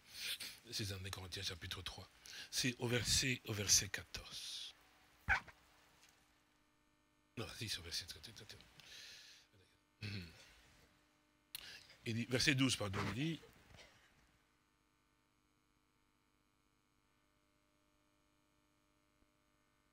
Ayant donc cette espérance, nous usons d'une grande liberté et nous ne faisons pas comme Moïse qui mettait un voile sur son visage pour que le fils d'Israël ne fixasse pas les regards sur la fin de ceux qui étaient donc passagers. Mais ils sont devenus donc durs d'entendement, car jusqu'à ce jour, le même voile demeure quand ils font donc la lecture de l'Ancien Testament, et il ne s'élève pas parce que c'est en Christ qui disparaît. Jusqu'à ces jours, quand on lit Moïse, un voile est jeté sur leur cœur. Mais lorsque le cœur se convertisse au Seigneur, le voile est... Mais maintenant, verset 17 dit, mais or le Seigneur, c'est bien l'Esprit. Donc, quand on parle du ministère de l'Esprit, donc on parle du ministère du Seigneur, Jésus-Christ lui-même, mais qui est venu sous la forme maintenant de l'Esprit. C'est pour ça, pour qu'il n'y ait pas l'ombre de doute, effectivement, dans l'Ancien Testament, la colonne de feu, c'était l'éternel Dieu dont le Dieu créateur de la terre, évidemment, qui était là, là, qui marchait devant son peuple. Et dans le Nouveau Testament aussi, pour qu'on sache qu'effectivement, qu'il y avait de l'Ancien Testament, c'est le Jésus du Nouveau Testament, c'est ainsi que aussi la colonne de feu est descendue. Donc divisée pour qu'effectivement, que maintenant, puisqu'il n'y a rien qui le retient, il peut maintenant tabernacler dans un homme puisque l'homme a été racheté, une rédemption éternelle. C'est pour ça qu'il est dans les sanctuaires. Parce que là, il a offert son sang, le prix que Dieu demandait effectivement pour qu'il y ait donc réconciliation entre l'homme qui, qui revienne maintenant, donner la vie éternelle aux hommes, eh bien, ça a été payé. Et maintenant, c'est lui-là, maintenant, maintenant, Jésus, maintenant, il revient maintenant sur forme du Saint-Esprit pour travailler, opérer pour que toi, tu arrives maintenant à celle pour laquelle Dieu t'a dessiné, donc arriver à être parfait. Pour que tu sois parfait, il faut que le travail continue par celui qui est parfait. Est-ce que vous comprenez? Ça veut dire que si c'est un homme qui fait le travail, tu ne pourras jamais être parfait. Il faut que celui qui est parfait vienne faire le travail. C'est pour ça, je vous ai dit tout à l'heure, effectivement, que la Bible dit que, que tout homme soit connu pour menteur, moi y compris. Mais que Dieu seul soit reconnu pour vrai. Le véritable qui doit travailler et opérer, effectivement, c'est Dieu lui-même. Voilà pourquoi, effectivement, l'apôtre Paul disait, effectivement, ici, il dit, cette assurance-là, nous l'avons par Christ auprès de Dieu. Donc, effectivement, regardez très bien. Et puis, il dit, mais ce n'est pas que nous soyons capables de concevoir quelque chose par nous-mêmes. Donc si nous le faisions, effectivement, nous ne vous rendrons jamais parfaits. Parce que nous vous transmettons quoi? Nos imperfections. Est-ce que vous comprenez? C'est pour ça qu'on veillait, c'est qu'effectivement, qui a dit, mais n'allez pas encore davantage pour les prêcher, parce que vous n'y arriverez pas. Vous ne pourrez pas les rendre parfaits, non. Attendez jusqu'à ce que je vous ai fait la promesse, la puissance d'en haut. Et quand elle viendra, ce n'est pas vous qui parlerez. C'est pour ça qu'il faut toujours faire, très attention parce qu'il a dit, mais mes brebis entendront ma voix. Il faut que vous, en tant que ces brebis, vous n'entendez pas la voix de l'élan à non, mais que vous entendiez sa voix, C'est pour ça, les, les, les bérénistes, les, enfants de Dieu, quand ils écoutent la parole, ils sont sérieux. Ils écoutent bien pour entendre. Est-ce que ça, ça vient de Dieu ou ça, ça vient de l'homme Frères et sœurs, ne, soyez pas, je dit que ne soyez pas clément avec moi, non. Soyez exigeants. Frères et sœurs, c'est important que vous soyez comme cela. Si la chose n'est pas conforme, ne l'acceptez pas. Parce que vous n'avez pas besoin d'un homme. Vous avez besoin du Seigneur. Donc vous devez être comme des bérénistes. Donc vérifiez dans les Saintes Écritures. Est-ce que cela est vrai? Est-ce que le mystère de l'Esprit est vrai? Parce que quand ça a commencé, c'est vrai. La Bible le démontre, mon frère. Il dit, il a reçu. S'il était sur la terre, il n'avait pas encore reçu. Il fallait qu'il monte. Là, qu'il offre effectivement le sang, et que maintenant qu'il puisse être ministre sanctuaire, souverain sacrificateur, alors maintenant, il pouvait recevoir. Ça veut dire que, spirituellement, ça veut dire qu'il peut maintenant revenir sous la forme du Saint-Esprit. Donc c'est Dieu-là qui était la colonne de feu. Alors maintenant, il revient maintenant. Est-ce que vous comprenez? Après Dieu soit béni. Après avoir accompli effectivement des merveilles grandioses dans le Nouveau Testament, donc il s'est donné lui-même. Dieu était manifesté en Christ, mon frère. Alléluia. Le Dieu véritable. Il a accompli lui-même. Alléluia. La tâche de rachat. Il a connu même, il a payé pour oui. Il est mort lui-même pour toi. Mais c'est important ça, mon frère. Donc ça, c'est la perfection des perfections. Donc sa mort était parfaite. Son prix était, c'est vrai, le sang précieux parfait. Donc il te rend aussi parfait. Donc il doit continuer son travail parfait dans chacun de nous. Et c'est ça qui est important. Donc l'homme n'est pas là. Voilà pourquoi mon frère et ma soeur, nous revenons maintenant dans le ministère, dans les âges effectivement, pour que vous battu avec tel, tel, tel, tel. Laisse-moi, montre-moi les âges, mon frère. Parce que c'est. Voilà. Maintenant, je commence que vous commencez à comprendre. vous avez tellement élevé les hommes qui sont inutiles. Absolument inutiles. Parce qu'aucun homme ne peut rien faire pour vous. Jésus vous aime, mon frère. Jésus est vraiment amour.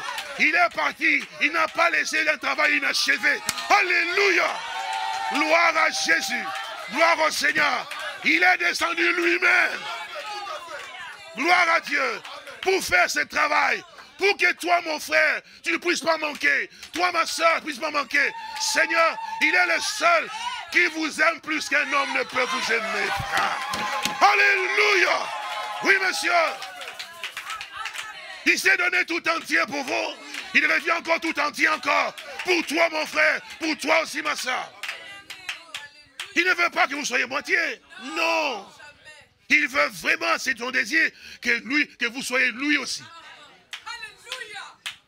Vous comprenez? Donc, une partie de ces dieux. Donc, quand on vous regarde, c'est qui est-ce qu'on voit C'est nécessaire. C'est pour ça que, vous verrez bien, effectivement, ici, que là, dans, le, dessin que nous a mis, les gens qui disent, oh, frère, il fait n'importe quoi. Pas de problème. Mais cette étoile, on les a mis ici au-dessus. Il va pouvoir avoir affaire. N'est-ce pas? J'ai dit, mais c'est mal placé. Vous allez comprendre ce que ça veut dire. Parce qu'on a dit que les sept étoiles sont Dans sa main droite. Donc c'est lui qui gère ce qu'il veut. Donc il n'y a aucune étoile qui veut dire, moi je vais faire ceci, je suis plus grand que celui-ci, je suis ceci, cela. Donc c'est lui qui les tient. Il dit qu'il peut faire de cette étoile comme il le veut. Donc ça ne dépend pas de l'homme. Pour que l'homme dise, moi je suis plus grand que les autres. Non, non, non, non, non. C'est lui. Donc c'est lui qui a les pouvoirs et l'autorité, qui maîtrise tout. Tout ça, il est fait pour son église. Donc il, doit contrôler tout. Ah oui. Il veille comme les grands certainement. Il veille dans tout le monde détail. C'est pour ça que vous remarquerez, frère, que le jour de Pentecôte, c'était tellement puissant qu'effectivement, que quand les hommes ont entendu simplement, on n'a pas parlé de quelqu'un d'autre, on n'a pas parlé de Moïse, on n'a pas parlé d'un prophète, on a parlé de Jésus, ce qu'il a accompli. La Bible dit, leur cœur a été touché vivement de voir ce Jésus, ce qu'il a fait dans un homme. Alléluia.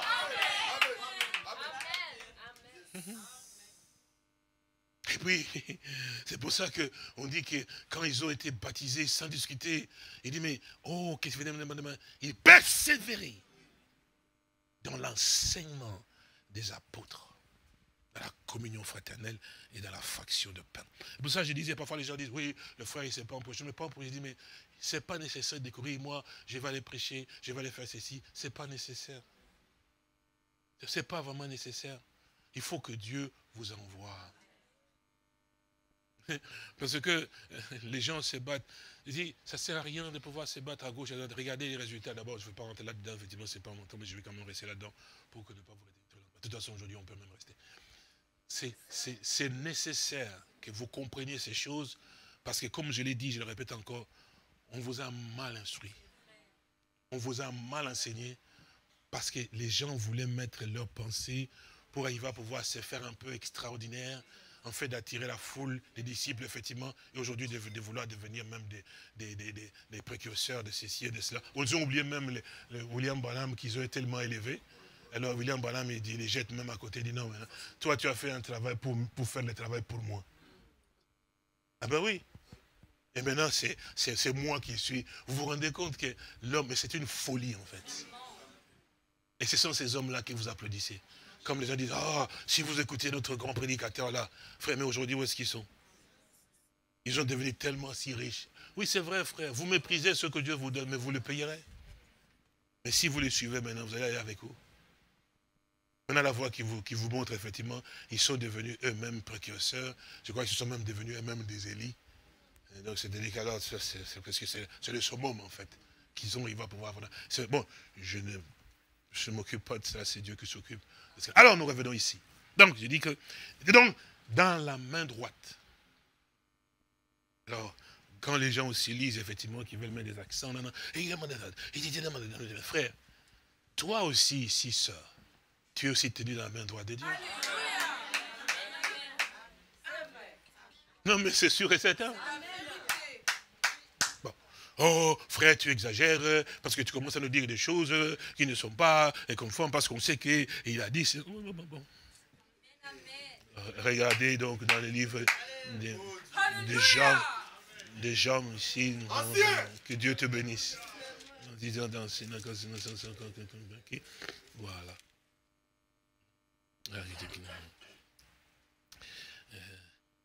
Bon, dans Jean chapitre 10.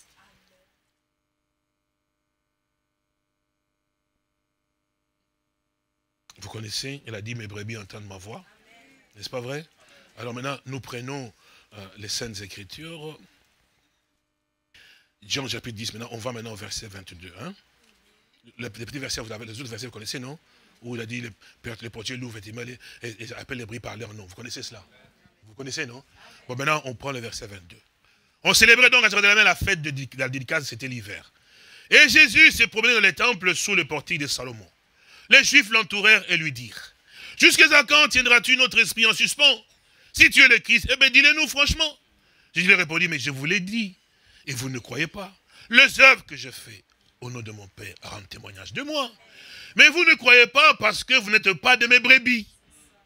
Mes brebis entendent ma voix, je les connais, elles me suivent. Je leur donne la vie, vous voyez, et elles ne, elles ne périront jamais. Et personne, écoutez bien, et personne ne l'arrivera où c'est donc ces brebis sont dans sa main. Vous voyez, oh, vous aussi, en tant que ces brebis, dans sa main, vous y êtes. C'est clair, les brebis sont dans ma main, dans ma main. Il n'a pas dit sous mes pieds. Il, dit, il, dit, il dit, verset 29, il dit, mon Père qui me les a donnés est plus grand que tous, et personne ne peut le ravir de la, de la main de mon Père. Donc vous comprenez, c'est nécessaire. Alors nous revenons maintenant ici à ce que nous disons. Donc effectivement, nous, avons pu voir qu'effectivement que les sept étoiles sont donc euh, les sept messagers. Cette église, effectivement. Que Dieu nous soutienne.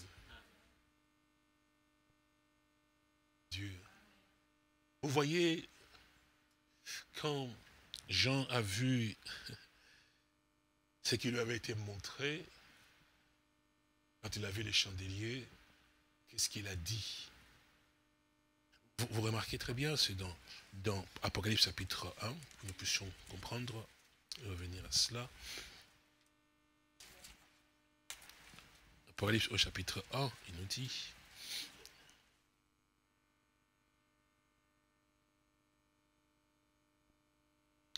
Nous lisons à partir du verset 10, euh, il dit, « Je fus ravi en esprit au jour du Seigneur, et j'entendis derrière moi une voix forte comme le son d'une trompette, qui disait, ce que tu vois, écris-le dans un livre, et envoie-le aux sept églises, à Éphèse, à Smyrne, à Pergame, à Thyatire, à Sade, à Philadelphie, à l'Odyssée. Je me retournais pour connaître quelle, était la voix qui me parlait. Et après m'être retourné, je vis sept chandeliers d'or, et au milieu de chandeliers, quelqu'un qui ressemblait au fils. Ressemblait à qui? Oh Au fils de l'homme. Alors, si vous remarquez très bien que le Fils de l'homme, c'est avec un F majuscule. Vous êtes d'accord? Vous êtes d'accord? Alors, vous êtes d'accord que le Fils de l'homme, avec le F majuscule, ne s'attribue qu'au Seigneur Jésus-Christ. Vous le croyez? Mais si vous ne le croyez pas, la Bible le confirme. Alors, on nous dit que le Fils de l'homme marchait au milieu de cette chandelier d'or. Ici. Quand il était avec ses disciples, quand il a posé la question, il dit, mais qui dites-vous donc que je suis moi, le Fils de l'homme? Vous vous souvenez? Est-ce que vous me suivez ou pas? Parce que je vais bien quand je pose la question quand même, si vous dites Amen, je sens que oui, ils ont suivi. Est-ce que vous vous souvenez de ça? Quand il a dit, qui dites-vous que je suis moi le fils de l'homme? Il n'a pas dit moi un fils de l'homme. Le fils de l'homme. Alors, je voudrais que nous prenions dans Luc chapitre 17.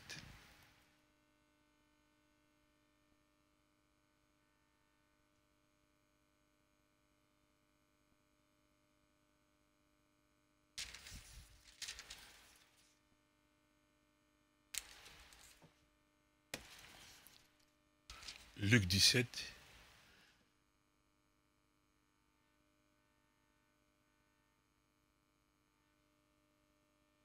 Nous lisons à partir du verset 22. Et dit aux disciples, des jours viendront où vous désirez voir l'un des jours du Fils de l'homme, et vous ne le verrez point. Vous suivez? On vous dira, il est ici, il est là, n'y allez pas et ne courez pas après. Vous vous souvenez? Dans Matthieu, on a parlé aussi. Car comme l'éclair resplendit et brille d'une extrémité du ciel à l'autre, ainsi sera le Fils de l'homme en son temps, en son jour. Hein?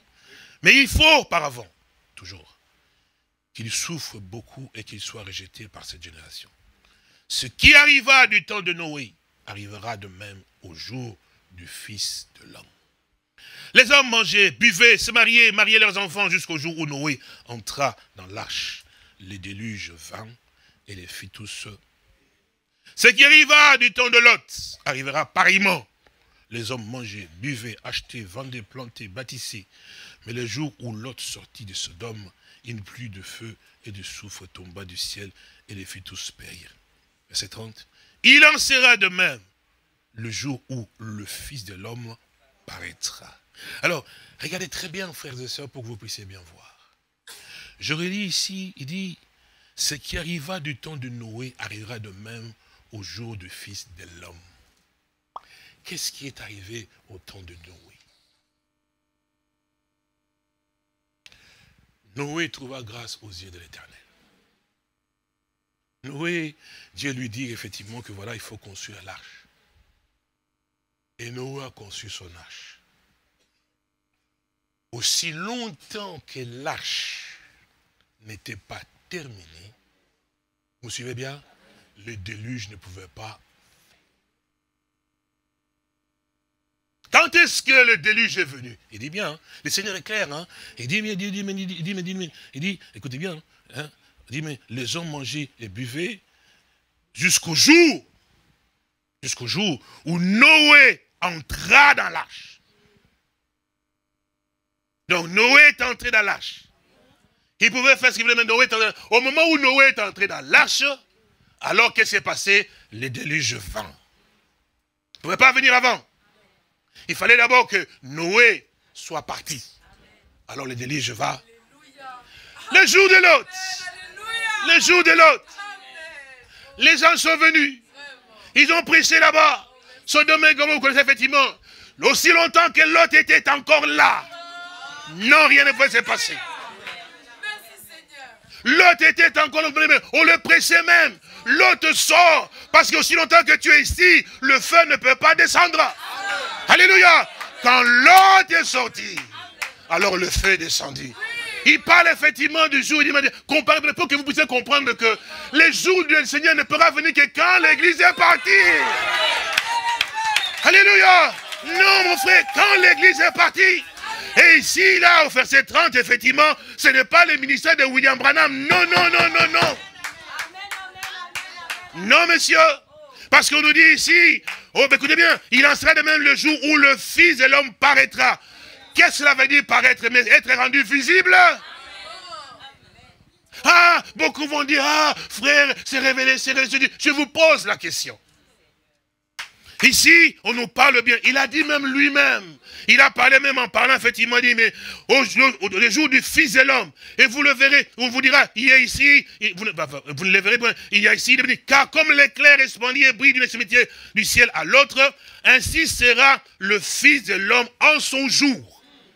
Je vous ai posé la question, le Fils de l'homme, c'est qui? Parce qu'un homme qui est prophète, on appellera un Fils de l'homme. Mais le Fils de l'homme, c'est Jésus-Christ lui-même. Alors frère, qui peut prendre la place de Jésus et se manifester que Jésus est voilé dans son corps? Impossible. Non, non frère, je veux que vous compreniez ça, c'est très important. Je ne le vois effectivement cela. Ce n'est pas pour vous dire, ah frère, je vais vous poser, pas dire, ah mais voilà que le frère, je parle encore clairement ici avec les Écritures, que le frère, il a manifesté quand il était là-bas, il s'est tourné les dos, et puis il a parlé effectivement. Alors on voit, je vous pose la question. Pendant le ministère du Seigneur Jésus, Dites-moi, frère, frères et combien de fois a-t-il d'ailleurs pour voir se tenir debout Il dit, bon, il se tourne, il se tourne, le Seigneur se tourne en disant, tu viens de Samarie, et de, la ville de Katamantratin. Et puis tu as été à Jérusalem, tu es passé par ici, et tu as fait ceci, tu as fait cela. Combien de fois? Je vous pose la question. Mais cela s'est passé dans Genèse chapitre 18. Sarah été dans la tente à vous dire, ah frère, mais c'est pour que vous puissiez comprendre. Il a parlé, il s'est référé à Nathanaël. Il dit, mais lorsque Philippe t'appela, je t'ai vu. Vous comprenez? On est passé là, on est passé là. Regardez très bien. Je vous pose la question, que je pose la question. Combien de fois avez-vous vu cela se répéter? Parce que, regardez très bien, il est vrai. Maintenant, je vais quand même répondre effectivement aussi aux problèmes des uns comme des autres. Les frères Branham, frères et sœurs, et ça c'est une abomination que vous le preniez la place, et même s'il allait pouvoir faire cela, vous dire, mais c'est contraire aux saintes écritures. Je vais vous le prouver.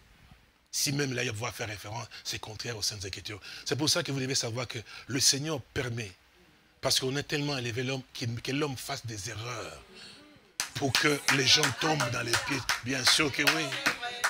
Bien sûr que oui, mon frère, bien sûr, parce qu'il n'est pas Dieu. En plus, je vais vous, je vais vous le montrer aussi il ne peut pas être comparé au prophète de l'Ancien Testament.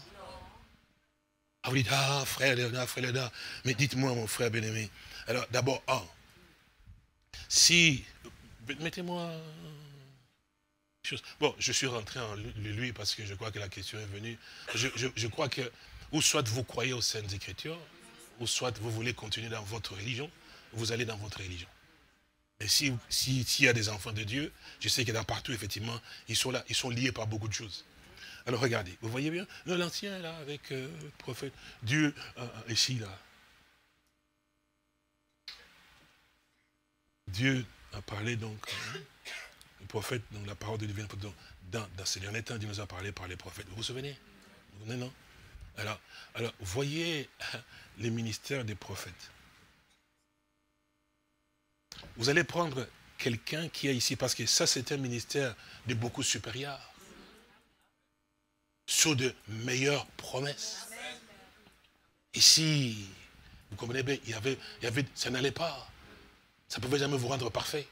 Bon, vous prenez quelqu'un qui est là, dans le ministère qui serait ici, et vous le ramenez ici.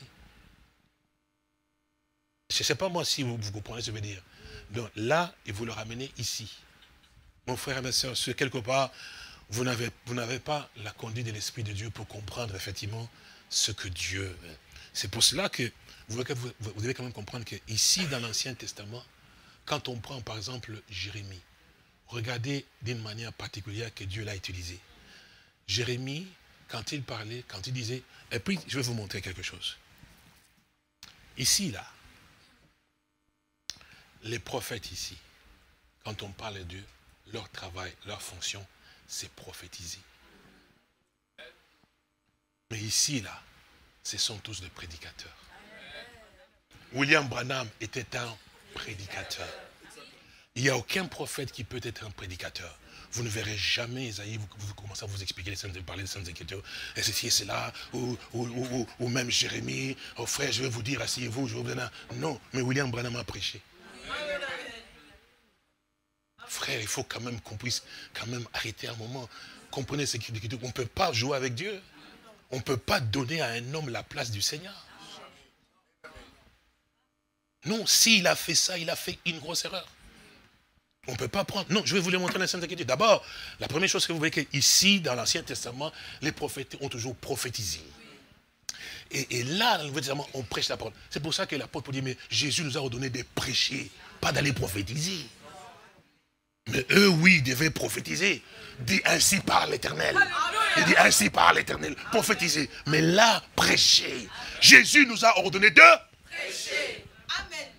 Donc, les apôtres, les prophètes ont prophétisé. Le ministère apostolique prend la prophétie et même ce qui était écrit, il le place à sa place. Et montre l'accomplissement dans les Alléluia. Oui, monsieur. Dans les choses de Dieu, il y a de l'ordre, monsieur. Et personne ne peut prendre la place de Jésus. Jamais, frère. Non. Il est celui qui vient te chercher. Et aucun homme ne peut prendre sa place dans mon, ministère. Quand vous voyez ceci, vous voyez que c'est Jésus qui s'est manifesté. Non Jésus s'est manifesté lui-même. Bien sûr, monsieur. Bien sûr, monsieur. Oui. Parce que là, on parle bien. C'est pour ça, quand on a posé la question, pour ça on fait l'amalgame pour tout. Quand on a posé la question à Jean le Baptiste, dont on a parlé, je vous avais élu les prophètes. On lui a demandé, es-tu le prophète? C'est écrit. Il n'était pas quelqu'un qui ne comprenait pas les Écritures. Il savait très bien. Es-tu le prophète? Il dit non. Et puis on va aussi arriver à Élie. Hein. On lui dit, es-tu Élie? Il a dit quoi? Oui. Pourquoi a-t-il dit non? Et pourtant, que quand le Seigneur vient, il faut, il que nous comprenions le langage du Seigneur, notre Dieu. Ce n'est pas laissé à la portée de l'intelligence humaine. Frère, si tout le monde pouvait arriver à pouvoir comprendre, tout le monde serait donc sauvé. Mais bien sûr, frère, il n'y a même pas pouvoir poser mes questions. Il dit, il dit, mais, il vous a été donné à vous de connaître le mystère du royaume des cieux, mais pas à eux. Est-ce que c'est moi qui ai dit ça? C'est pour ça que les autres peuvent s'asseoir là et lire, ils voient toujours flou. Mais quand toi tu entends ça, tu regardes, la Bible devient nouveau. Il dit, mais Seigneur, c'est quand même extraordinaire. Frères et sœurs, c'est tout à fait clair et c'est la vérité encore. De dire qu'effectivement, que ici, là, ce n'est pas William Branham dans le 30, c'est Jésus-Christ lui-même, le Fils de l'homme. Si William Branham fait s'attribuer, ça s'attribuer un fils de l'homme. Mais jamais le fils de l'homme. Là, on dit, mais au, jour, au du fils de l'homme, dit qu'au jour du fils de l'homme, c'est le fils de l'homme. C'est Jésus lui-même. Et on le voit encore là, au milieu de chandelier d'or. Alors, ça serait quand même William Branham qui va encore nous, nous manifester au milieu de chandelier d'or, qui serait, parce qu'on va arriver à ça. Mais bien sûr que oui, on va arriver à ça. Voilà, voilà là où c'est aussi bien cette doctrine a été pour dire que oui, Jésus-Christ a été manifesté dans William Branham, et finalement on dit que William Branham est Jésus-Christ incarné. Ça vient de tout ça. Mais oui, je crois que vous avez les vidéos. Ils adorent William Branham. Ils vous parlent de lui, ils vont même parler. Et, puis, c'est normal, tous ces démons doivent vous apparaître. Vous cherchez des signes, vous en verrez. Ils ont vu, il dit, vous vous souvenez, je pense qu'il a dit, il dit oui, quand, j'ai prié Dieu William Branham, ah, j'ai dit, oh Seigneur, j'étais, j'étais dépassé moi-même. Il dit, eh, pardonnez-moi comme ça, je ne même pas citer comme ça. Il dit, eh, montre-moi que si c'était toi, il lui appelle son Dieu, quoi. Si c'est toi, alors que je puisse un peu te toucher. Alors il dit, il dit, touche-moi. Et il a avancé, il a avancé jusqu'à la calvitie. Mais moi, je ne raconte pas l'histoire, j'ai des preuves que je peux prouver à tous ces gens-là. Hein. Et j'ai senti sa calvitie, alléluia, j'ai senti. J'ai dit, Seigneur. C'est pour que vous compreniez pourquoi Dieu nous met dans ceci. On a tellement cru à des choses qui nous ont amenés à des idolâtries, sans se rendre compte, on l'a gardé à l'intérieur. Frère, il faut un nettoyage. Il faut absolument un nettoyage, de voir les choses claires. On ne peut pas prendre la place du Seigneur. Certainement, mon frère et ma soeur, que le Seigneur t'est rempli. Mais regardez, vous le voir effectivement. Parce que quand Dieu t'a choisi, frère, que Dieu ait pitié de nous, on n'a pas le temps. Quand Dieu te prend, mon frère, il te place dans son corps. Mais c'est son corps, il n'y a qu'un seul esprit. Mais regardez, frères et sœurs, pour l'amour de Jésus. Ici, dans ce corps, nous avons le doigt. Mais les doigts sa place. Mais il a l'esprit, effectivement, mais il a la place pour fonctionner comme doigt. Il ne sera jamais la tête, les doigts. Jamais, frère. Jamais. Il a la puissance qui est dans le corps, mais jamais, la tête, mon frère. Jamais. Même les mains, même le coude, même la main, même la jambe, tout ça, mais ne sera jamais la tête. Parce que vous savez quoi? C'est la tête qui commande tout ça. Alléluia. Jésus est merveilleux, mon frère. Il est le seul et l'unique. Personne, personne ne peut prendre sa place, mon frère. Peu importe la taille du ministère que tu peux avoir, Personne, mon frère. Nous, c'est nécessaire que nous comprenions cela. Maintenant, revenons maintenant ici. J'espère que ces choses ont été comme... C'est assez clair pour que tout le monde comprenne. De manière à ce que qu'on ne vienne pas avec euh, oh manifester, m'a révélé. Mais oui, il vient pouvoir vous, vous, vous, vous, vous avilir avec des choses comme révéler, manifester. Je vous pose la question.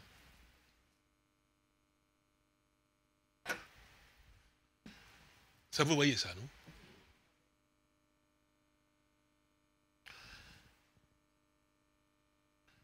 Non, parce que vous savez, à un certain moment, vous souffrez dans votre cœur. Parce vous dites, mais comment est-ce possible qu'un homme puisse arriver à pouvoir accepter? Parce que non, frère, la Bible nous dit que, or, les seigneurs scellés, là où l'Esprit du Seigneur est, la liberté dans l'Esprit, l'esclavage. Vous voyez ce que j'ai fait? Qu'est-ce que j'ai fait là? Ah. Alors, maintenant, c'est quelque chose qui est caché. Qu'est-ce qui est caché là? Vous savez, non, c'est la torche. Hein? Ah non, c'est stylé. Mais non. Ça, j'ai mis ça. Moi qui ai mis ça, je sais que c'est la torche qui est là donc en dessous. Mais il y a des gens qui ne le savent pas d'une certaine manière. La torche bas, c'est stylé. Comment vous l'appelez encore? Pointeur. Je sais que c'est le pointeur que j'ai toujours ici, je mets là-dedans. Mais les autres n'avaient pas vu ce pointeur, ils ne se rendent pas compte de ceci. Alors, je me dis, mais qu'est-ce qu'il y a là-dessus? On ne sait pas tellement bien mouvoir la forme de quelque chose. Par exemple, comme, comme par exemple, quand on bouge comme ça, il y a comme une lumière qui sort, mais on ne sait pas ce que c'est. C'était le pointeur. Alors maintenant, je vais maintenant vous révéler ce qu'il y a dessus. C'est-à-dire que vous découvrez ce qu'il y a dessus. Je fais comme ça. Qu'est-ce que c'est? Vous trouvez quoi? Le pointeur. Ça, ce n'était que le voile qui couvrait le pointeur. Je veux bien que vous puissiez comprendre. Vous comprenez bien? Donc quand on a enlevé dessus, on a vu le pointeur. En fait, ce pointeur, c'est toujours l'original que j'avais, que j'ai mis ici, mais que j'ai voulu un peu couvrir pour que vous ne voyez pas en fait. Ce n'était pas autre chose. C'est le même. Donc maintenant, si on doit nous révéler le Fils de l'homme, c'est-à-dire que c'est Jésus qu'on doit nous montrer. Ce qui veut dire que si maintenant on nous révèle, on doit trouver Jésus. Est-ce que vous comprenez? Bon, maintenant, comment est-ce que le ministère de William Branham peut me révéler le Jésus véritable? Vous allez comprendre. Parce que Jésus, c'est la personne. Ceci n'est pas une image du pointeur. C'est le pointeur que je vois, que je touche. Donc, quand je le relève, je lève ça comme ça, alors ça, je vois que c'est le pointeur qui était dessus et je peux même le toucher. Est-ce que vous comprenez? Quand vous regardez dans les scènes Écritures, on dit bien que quand le Fils de l'homme paraîtra. Vous entendez cela Regardez bien, c'est dans le livre, ici, on dit, hein, verset 30, il dit, il en sera de même le jour où le Fils de l'homme paraîtra. Est-ce que vous suivez? Vous lisez quand même, et vous êtes quand même des francophones, et vous connaissez les français. Paraître, ça veut dire quoi? C'est rendre visible. C'est qu'on le voit. Mais quand je vois William Branham, je vois les fils de M. Branham. Non, mais est-ce que vous me comprenez? Non, il ne faut pas rentrer dans spirituel. Mais je vois le fils de Branham et de sa maman, effectivement, ainsi de suite. Mais qu'est-ce qui se passe? Mais, comme nous l'avons entendu, Jésus-Christ Seigneur est venu sous la forme du Saint-Esprit. Il habite dans toi, il habite dans toi, il habite dans toi, il habite dans toi. Donc, avec ce que don que Dieu vous a donné, il va manifester effectivement cela au travers de vous. Mais qu'est-ce qu'il va manifester effectivement? Mais une partie de ce que vous êtes en train de pouvoir faire ici, mais animé par l'Esprit qui est ici. Est-ce que vous comprenez? Donc, effectivement, vous êtes vous, mais lui en vous, agissant effectivement. Mais si je ne vous coupe en deux, quand je vous regarde, je vous touche, je ne touche pas Jésus, mais je vous touche vous. Mais là, on dit Jésus apparaîtra. Et comme la Bible le dit, effectivement, c'est même Jésus physiquement qui est parti. Il reviendra aussi de la même manière qu'il est, parti, effectivement. Et quand c'est, quand est-ce qu'il va venir? C'est quand nous partons. Ah, bien sûr, parce qu'il dit, mais il descendra lui-même. Alors, je vais vous montrer encore une autre écriture pour ne pas me fatiguer beaucoup. Mais il est très bien. Dans le livre de 1 Pierre, je pense que c'est cela.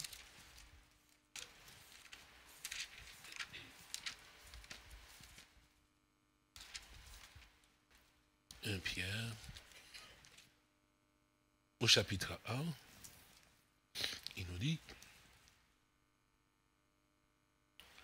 c'est pourquoi saignez le rein, verset 13, pardon, chapitre 1, verset 13, c'est pourquoi saignez le rein de votre entendement, soyez sobre et ayez une entière espérance dans la grâce qui vous sera apportée. Vous suivez?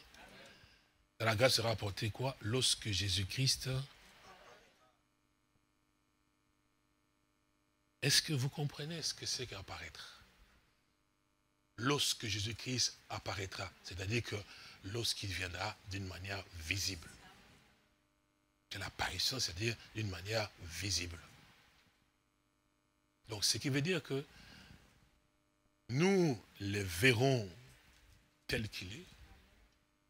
C'est pour ça que beaucoup de gens, dans leur façon de pouvoir aussi dire des choses, effectivement, les uns sont déjà dans les milléniums, les autres sont déjà dans l'enlèvement, parce que vous vous souvenez, je vous ai parlé effectivement, parce que pour eux, étant donné que William Branham a été comme ceci, ceci, là, et puis ce qu'ils ont eu comme enseignement, effectivement, eh ben, si, ils sont même allés jusqu'à ce que, parce que si, vous suivez s'il vous plaît, si William Marianne Branham est l'incarnation de Jésus-Christ, ce qui veut dire que toi et moi ici, c'est déjà terminé puisque Jésus-Christ a déjà quitté le trône. L'état de la grâce est déjà terminé. Donc euh, c'est fini, parce qu'il était sur la terre, et c'est fini, ça veut dire que vous et moi, le pardon de péché terminé. Vous pouvez prier, vos prières ne montent pas, rien du tout, et rien même. Oui, c'est sûr, certain, parce que si le sang plus sur le trône, c'est terminé, c'est fini, effectivement. Donc, si cela est ainsi, alors qu'est-ce que nous faisons?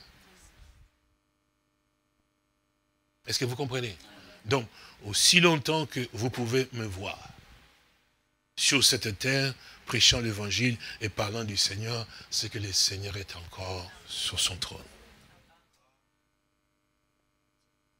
Non, mais ce n'est pas pouvoir dire qu'il dit ça pour nous. C'est 100% vrai.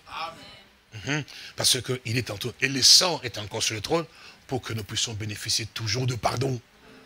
C'est parce que quand le sang n'est plus, qu'il n'y a plus de pardon, effectivement, ça vous le savez.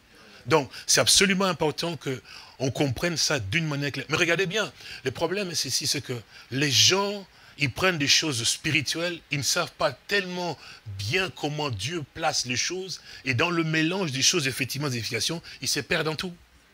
On doit laisser au Seigneur le soin de pouvoir réellement nous montrer ce qu'il est en train de pouvoir faire et ce qu'il fait. Nous revenons ici.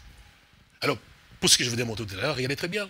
Alors, ils disent qu'effectivement, que bon, les cinq étoiles ensemble, j'ai dit, bon, cette manière de représenter comme ça, c'est pas du tout bien parce qu'en fait, ça va donner l'impression aux gens que, effectivement, euh, les, les messagers, comme on le montre effectivement, ont une action aussi profonde, effectivement, dans, le, en rapport avec l'Église ici. Vous direz, mes frères, mais qu'est-ce que tu veux nous montrer effectivement ainsi? Bon, voilà ce que je vais vous montrer. Nous avons entendu que maintenant c'est le ministère de l'Esprit. Or, le Seigneur, c'est l'Esprit. Donc, c'est le Seigneur lui-même qui opère maintenant.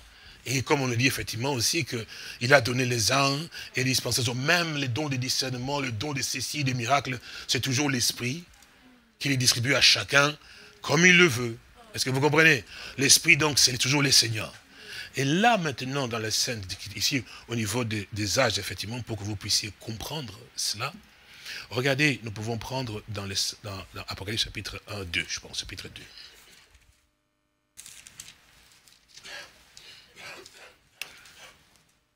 Après chapitre 2 maintenant. Il nous dit, verset 1, écrit à l'ange de l'église de Fès. Vous suivez? Donc, le messager, c'est cela, non? Il dit, voici ce que dit celui qui tient les sept étoiles dans sa main droite, celui qui marche au milieu de sept chandeliers d'or. Celui-là, il est vivant au siècle des siècles. Vous comprenez, non? Et puis il dit, je connais tes œuvres ton travail, ta persévérance. Je sais que tu ne peux supporter le méchant, que tu as éprouvé ce que se disent apôtres, et qu'ils ne sont pas, que tu les as donc trouvés menteurs, ainsi, ainsi, ainsi, ainsi, ainsi. Je peux continuer à pouvoir lire. Et que tu as de la persévérance et que tu as souffert à cause de mon nom et que tu ne t'es point lassé. Mais ce que j'ai contre toi, c'est que tu as abandonné ton premier amour. Souviens-toi donc d'où tu es tombé. Répands-toi et pratique tes premières œuvres. Sinon, je viendrai à toi et j'ôterai ton chandelier de sa place, à moins que tu ne te repentes. Vous suivez? Tu as pourtant ceci, ce que tu détestes les œuvres de Nicolaïte. Œuvre que je déteste aussi. N'est-ce pas vrai? Regardez une chose qui est merveilleuse ici. Comme quand je vous le disais dans les Saintes Écritures, en rapport avec le Seigneur Jésus, je pense que peut-être le trouver ici, probablement. Je ne sais pas encore très bien où est-ce qu'il a dit cela. Euh, je vais d'abord trouver ça ici dans Matthieu 13, euh, quelque chose comme ça, oui. Voilà. Mhm. C'est un Matthieu chapitre 13.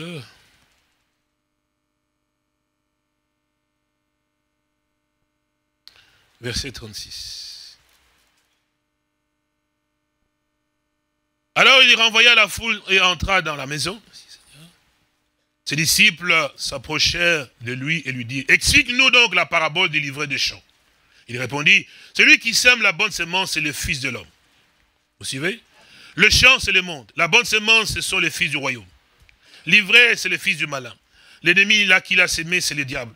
La moisson, c'est la fin du monde, et les moissonneurs, ce sont les anges. Or, comme on arrache l'ivrée et qu'on la jette au feu, il en sera de même à la fin du monde. Vous suivez?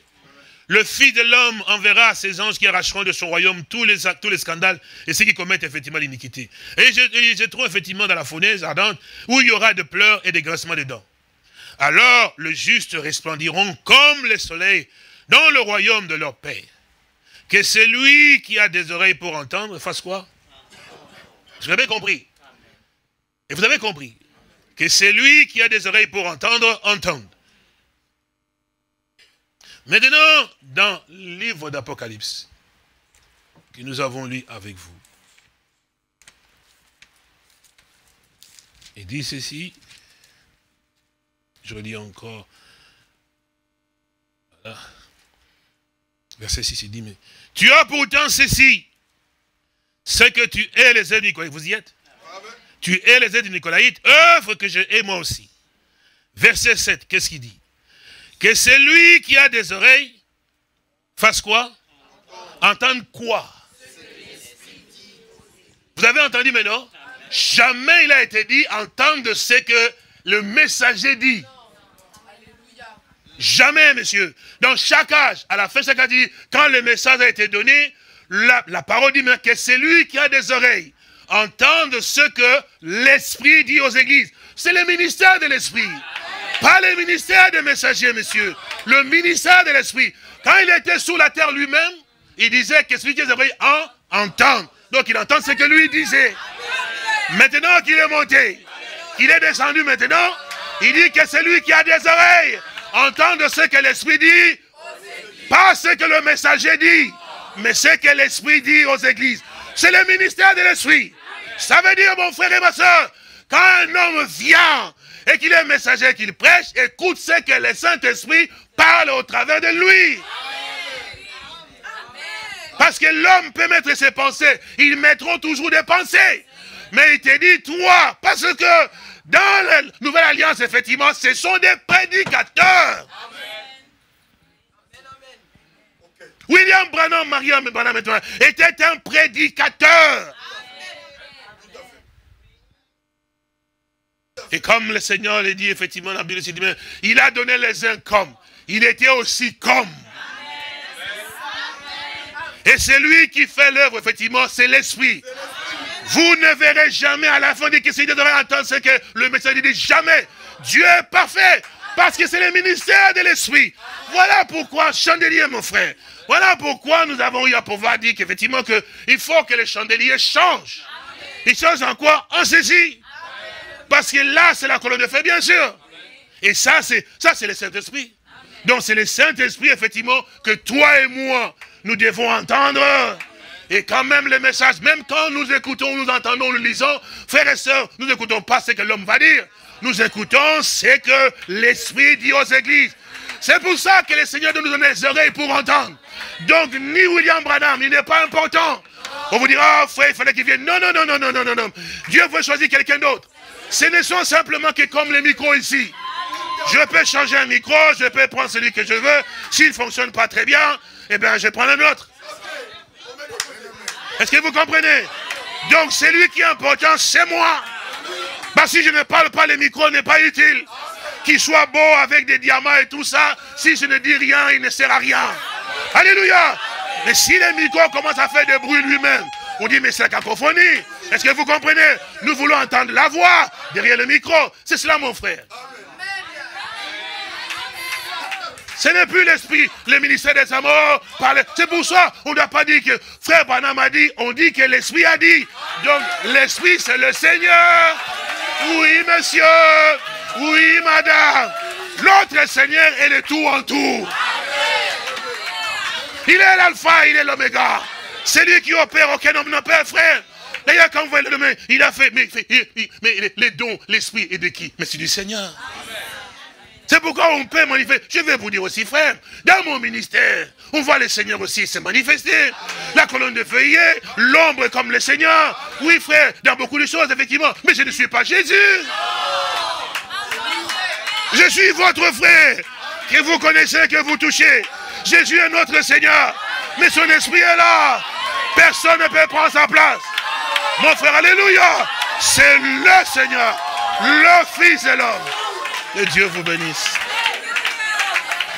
Tendre Père et précieux Sauveur, nous voulons te dire encore merci. Merci pour ta gloire. Merci pour ton honneur, mon Sauveur. Tu es l'alpha et l'oméga. Nous te remercions pour ton bienfait. Nous te remercions pour ton amour. Tu es celui qui nous libère, passer au Dieu. Tu es venu pour libérer les captifs. Certainement, ton peuple a été captif pendant des années, Seigneur. Et tu es vraiment notre Dieu. Nous t'aimons pour ta présence parce que c'est toi qui fais l'œuvre, mon béni, Père Tubissant. C'est ton ministère à toi, mon béni, Père, au Dieu. Oh, c'est toi qui opères Oh Dieu, tout en tout, mon bien-aimé Père Tu es toi-même la sagesse. C'est toi qui es discernement. C'est vrai, Père Saint-Dieu. Tu le donnes aux uns comme mon bien-aimé Père. Nous voulons que tu sois élevé, Seigneur. Parce que c'est ta place à toi, comme la Bible dit. Élevé à la droite de Dieu. Tu es élevé, mon bien-aimé Père Saint-Dieu. Et dans les cieux même, mon bien-aimé Père Et dans nos cœurs aussi, mon bien-aimé Seigneur. Que tu sois élevé, mon bien-aimé Père, oh Dieu. L'honneur te revient. La gloire te revient, mon bien-aimé Père Nous voulons marcher avec toi. Nous voulons être éclairés par toi. Voulons être conduits par toi, mon bénémoine Père Saint-Dieu. Tu es vraiment le Seigneur des Seigneurs. Merci, merci, merci, Sauveur. C'est pourquoi tous ceux que tu as envoyés, Seigneur, ils te connaissaient. Ils ne parlaient que de toi, mon bénémoine Père Saint Dieu. Même les prophètes, bénémoine Père Dieu, ils savaient que le plus important, c'est toi, mon bénémoine Père Dieu. C'est toi, Père Saint Dieu, qui, qui donne des ministères, qui fait des serviteurs de flammes de feu. Je te remercie, mon roi. Je te glorifie, mon bénémoine Père Saint-Dieu. Je t'adore, mon roi, parce que tu es réellement le maître et souverain, Seigneur. Nul n'est comparable à toi, mon bénémoine Père Saint-Dieu. Tu demeureras toujours l'unique et le seul, mon roi. Je te remercie. Peu importe la taille du ministère des noms, bénémoine Dieu. Peu importe le miracle qu'il fait, bénémoine Père Tubissant. Ce n'est pas l'homme qui fait le miracle, bénémoine Père Dieu. Mais c'est ta puissance à toi. La puissance de Jésus-Christ, mon bénémoine Père Dieu. L'esprit de Jésus, mon roi. Tu délivres, mon bénémoine Père Dieu. C'est pourquoi nous voulons te louer. C'est pourquoi c'est toi qui guéris, même s'il n'y a pas l'étigma, mon Père Dieu. C'est toi qui fais marcher par l'étigma, mon Père Dieu. C'est toi qui sauves. Le salut vient de toi. Tu es le salut, mon Jésus. Que ton nom soit béni. Que ton nom soit exalté, mon Seigneur. Et qu'au siècle des siècles, tu vis, mon béni, mon Père Dieu. Que tu sois élevé encore en ce jour. Merci. Merci pour ta bonté. Merci pour ton amour et Merci pour tes compassions, mon sauveur. Ah, nous voulons vraiment demeurer là où tu veux que nous puissions demeurer, mes Père Saint-Dieu. Et que chacun occupe sa place et qui occupe sa fonction. Mais jamais un homme ne peut prendre ta place à toi, mon bénémoine Père Saint-Dieu. Jamais tu demeures le Jésus de la Bible, Père. Le Seigneur des Seigneurs, mon roi. Le Maître, de Père Tibissant. C'est toi qui conduis. C'est toi qui donnes. C'est toi qui distribue. C'est toi qui donnes des dons, qui donne Père Tibissant. Tu fais tout ce que tu veux, Seigneur. Marches, mais c'est un d'or. Parce que tu montres que tu es le Maître, mon roi. Et que ton peuple ne peut écouter que toi. L'Esprit, Père Saint-Dieu. Honneur à toi. Merci. Oui, mon maître béni. À toi la gloire. À toi l'honneur. À toi la puissance et la victoire. Que ton nom soit béni. Que ton nom soit glorifié. Que ton nom soit exalté. Que tu nous aides encore davantage, mon roi, à ne parler que de toi. Partout où nous allons, Père, à ne présenter que toi, pas un homme. Non, mon frère. Non, mon Seigneur, aide-moi, mon Sauveur béni. Que ton peuple soit libre, délivré de tout, mon béni, Seigneur Jésus. Oh, que ton Saint-Nom soit vraiment béni, mon béni, Père Saint-Dieu. Que ton Saint-Nom soit vraiment glorifié, mon Seigneur. Qu'il soit vraiment exalté, mon béni, Seigneur. Oh, que tu sois béni, Père. Autrefois, à plusieurs reprises, de plusieurs manières, tu nous as parlé, Dieu a parlé à nos pères, par les prophètes, mon bénémoine Père Saint. Mais dans ces derniers temps, Dieu nous a parlé par le Fils, mon Seigneur. Loué soit ton Saint-Nom. Jésus-Christ, mon roi, tu es toi-même descendu. Et jusqu'aujourd'hui, tu vas achever, mon bénémoine Père Dieu. Tu vas travailler toi-même. Tu vas rendre parfait ceux qui sont à toi, mon bénémoine Père Dieu. Mon âme te loue. Oh, c'est toi qui es notre Dieu. Oh, je te remercie, Sauveur. Merci, Sauveur. Merci, Sauveur. Gloire à toi. Honneur à toi. Merci. Merci, Pardonne, mon Seigneur. Sois exalté, sois béni. Merci, Seigneur. Merci, Seigneur. Il s'agit de toi, de ton œuvre à toi, de ta puissance, mon Sauveur. Oh, merci. Nous croyons en toi. Nous te remercions, mon Sauveur. Jésus, mon Sauveur. Jésus, mon Sauveur. Arrête pas à ma voix, mon Sauveur. Aide-moi, Souviens-toi. Souviens-toi. De ta grande bonté, de ta grande miséricorde.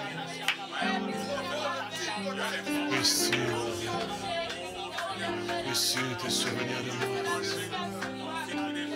Merci. Merci. Merci. À toi la gloire. À toi l'honneur. Merci encore. Merci Seigneur.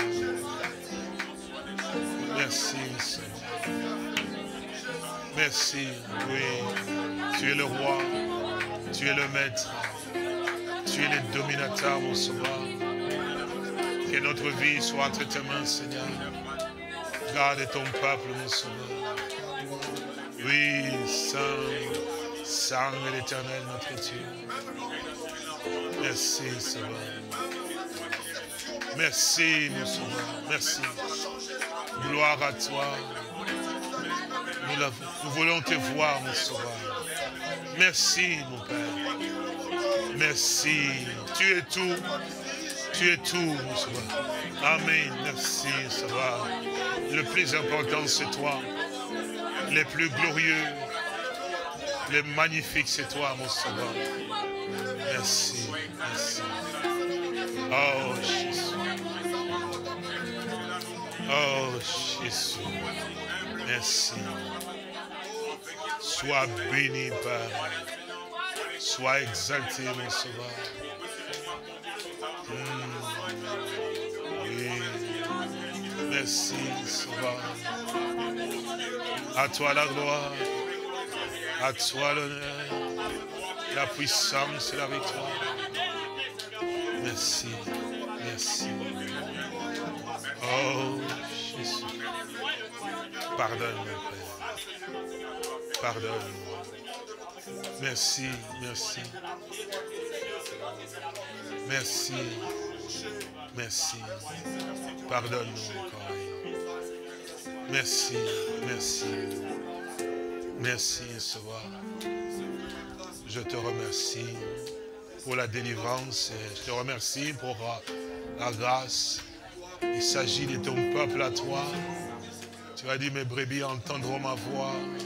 Ils ne suivront pas la voix d'un étranger. Ils sont à toi, oui. Ils peuvent maintenant voir aussi clairement, mon sauveur, que c'est à toi que la gloire et l'honneur doivent revenir encore dans ce jour de grâce. Merci, Père. Merci. Amen. Merci. Merci. Merci. Tu es les saintes écritures, mon roi. Tu es le maître béni. Que les choses soient remises à leur place, mon béni, Père, pour que nous puissions avoir une adoration véritable et pleinement de Jésus-Christ, mon roi. Merci, Père. Sois béni, sois béni. Alléluia. Jusqu'aujourd'hui, Père, tu le fais. Oui, merci. Ton peuple dans ce temps nous sommes. Oui, merci. Louange à toi et honneur à toi. Je te remercie, Père. Tout te revient. Tout te revient.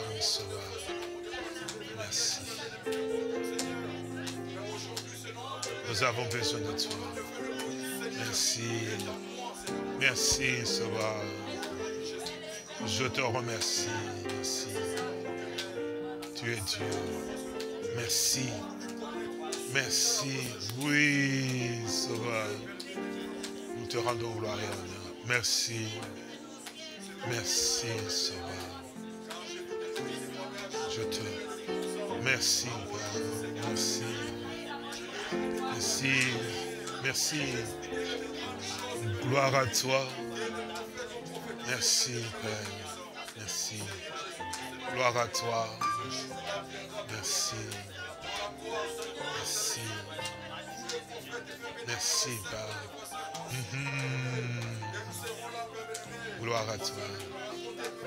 Merci pour tout ce que tu fais. Tu es merveilleux. Oui, Père.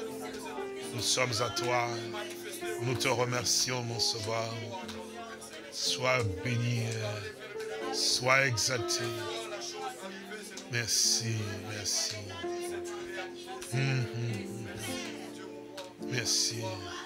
Louange à toi, honneur à toi pour ce que tu fais. Merci, merci. Merci, mon sauveur. De nous ramener à toi. Merci. Merci. Alléluia. Merci, merci. Gloire à toi. À jamais. Merci. Merci, Sauveur. Merci, mon Père. À jamais tu seras l'agneau de Dieu sur le trône. Grand vainqueur, y en la silla de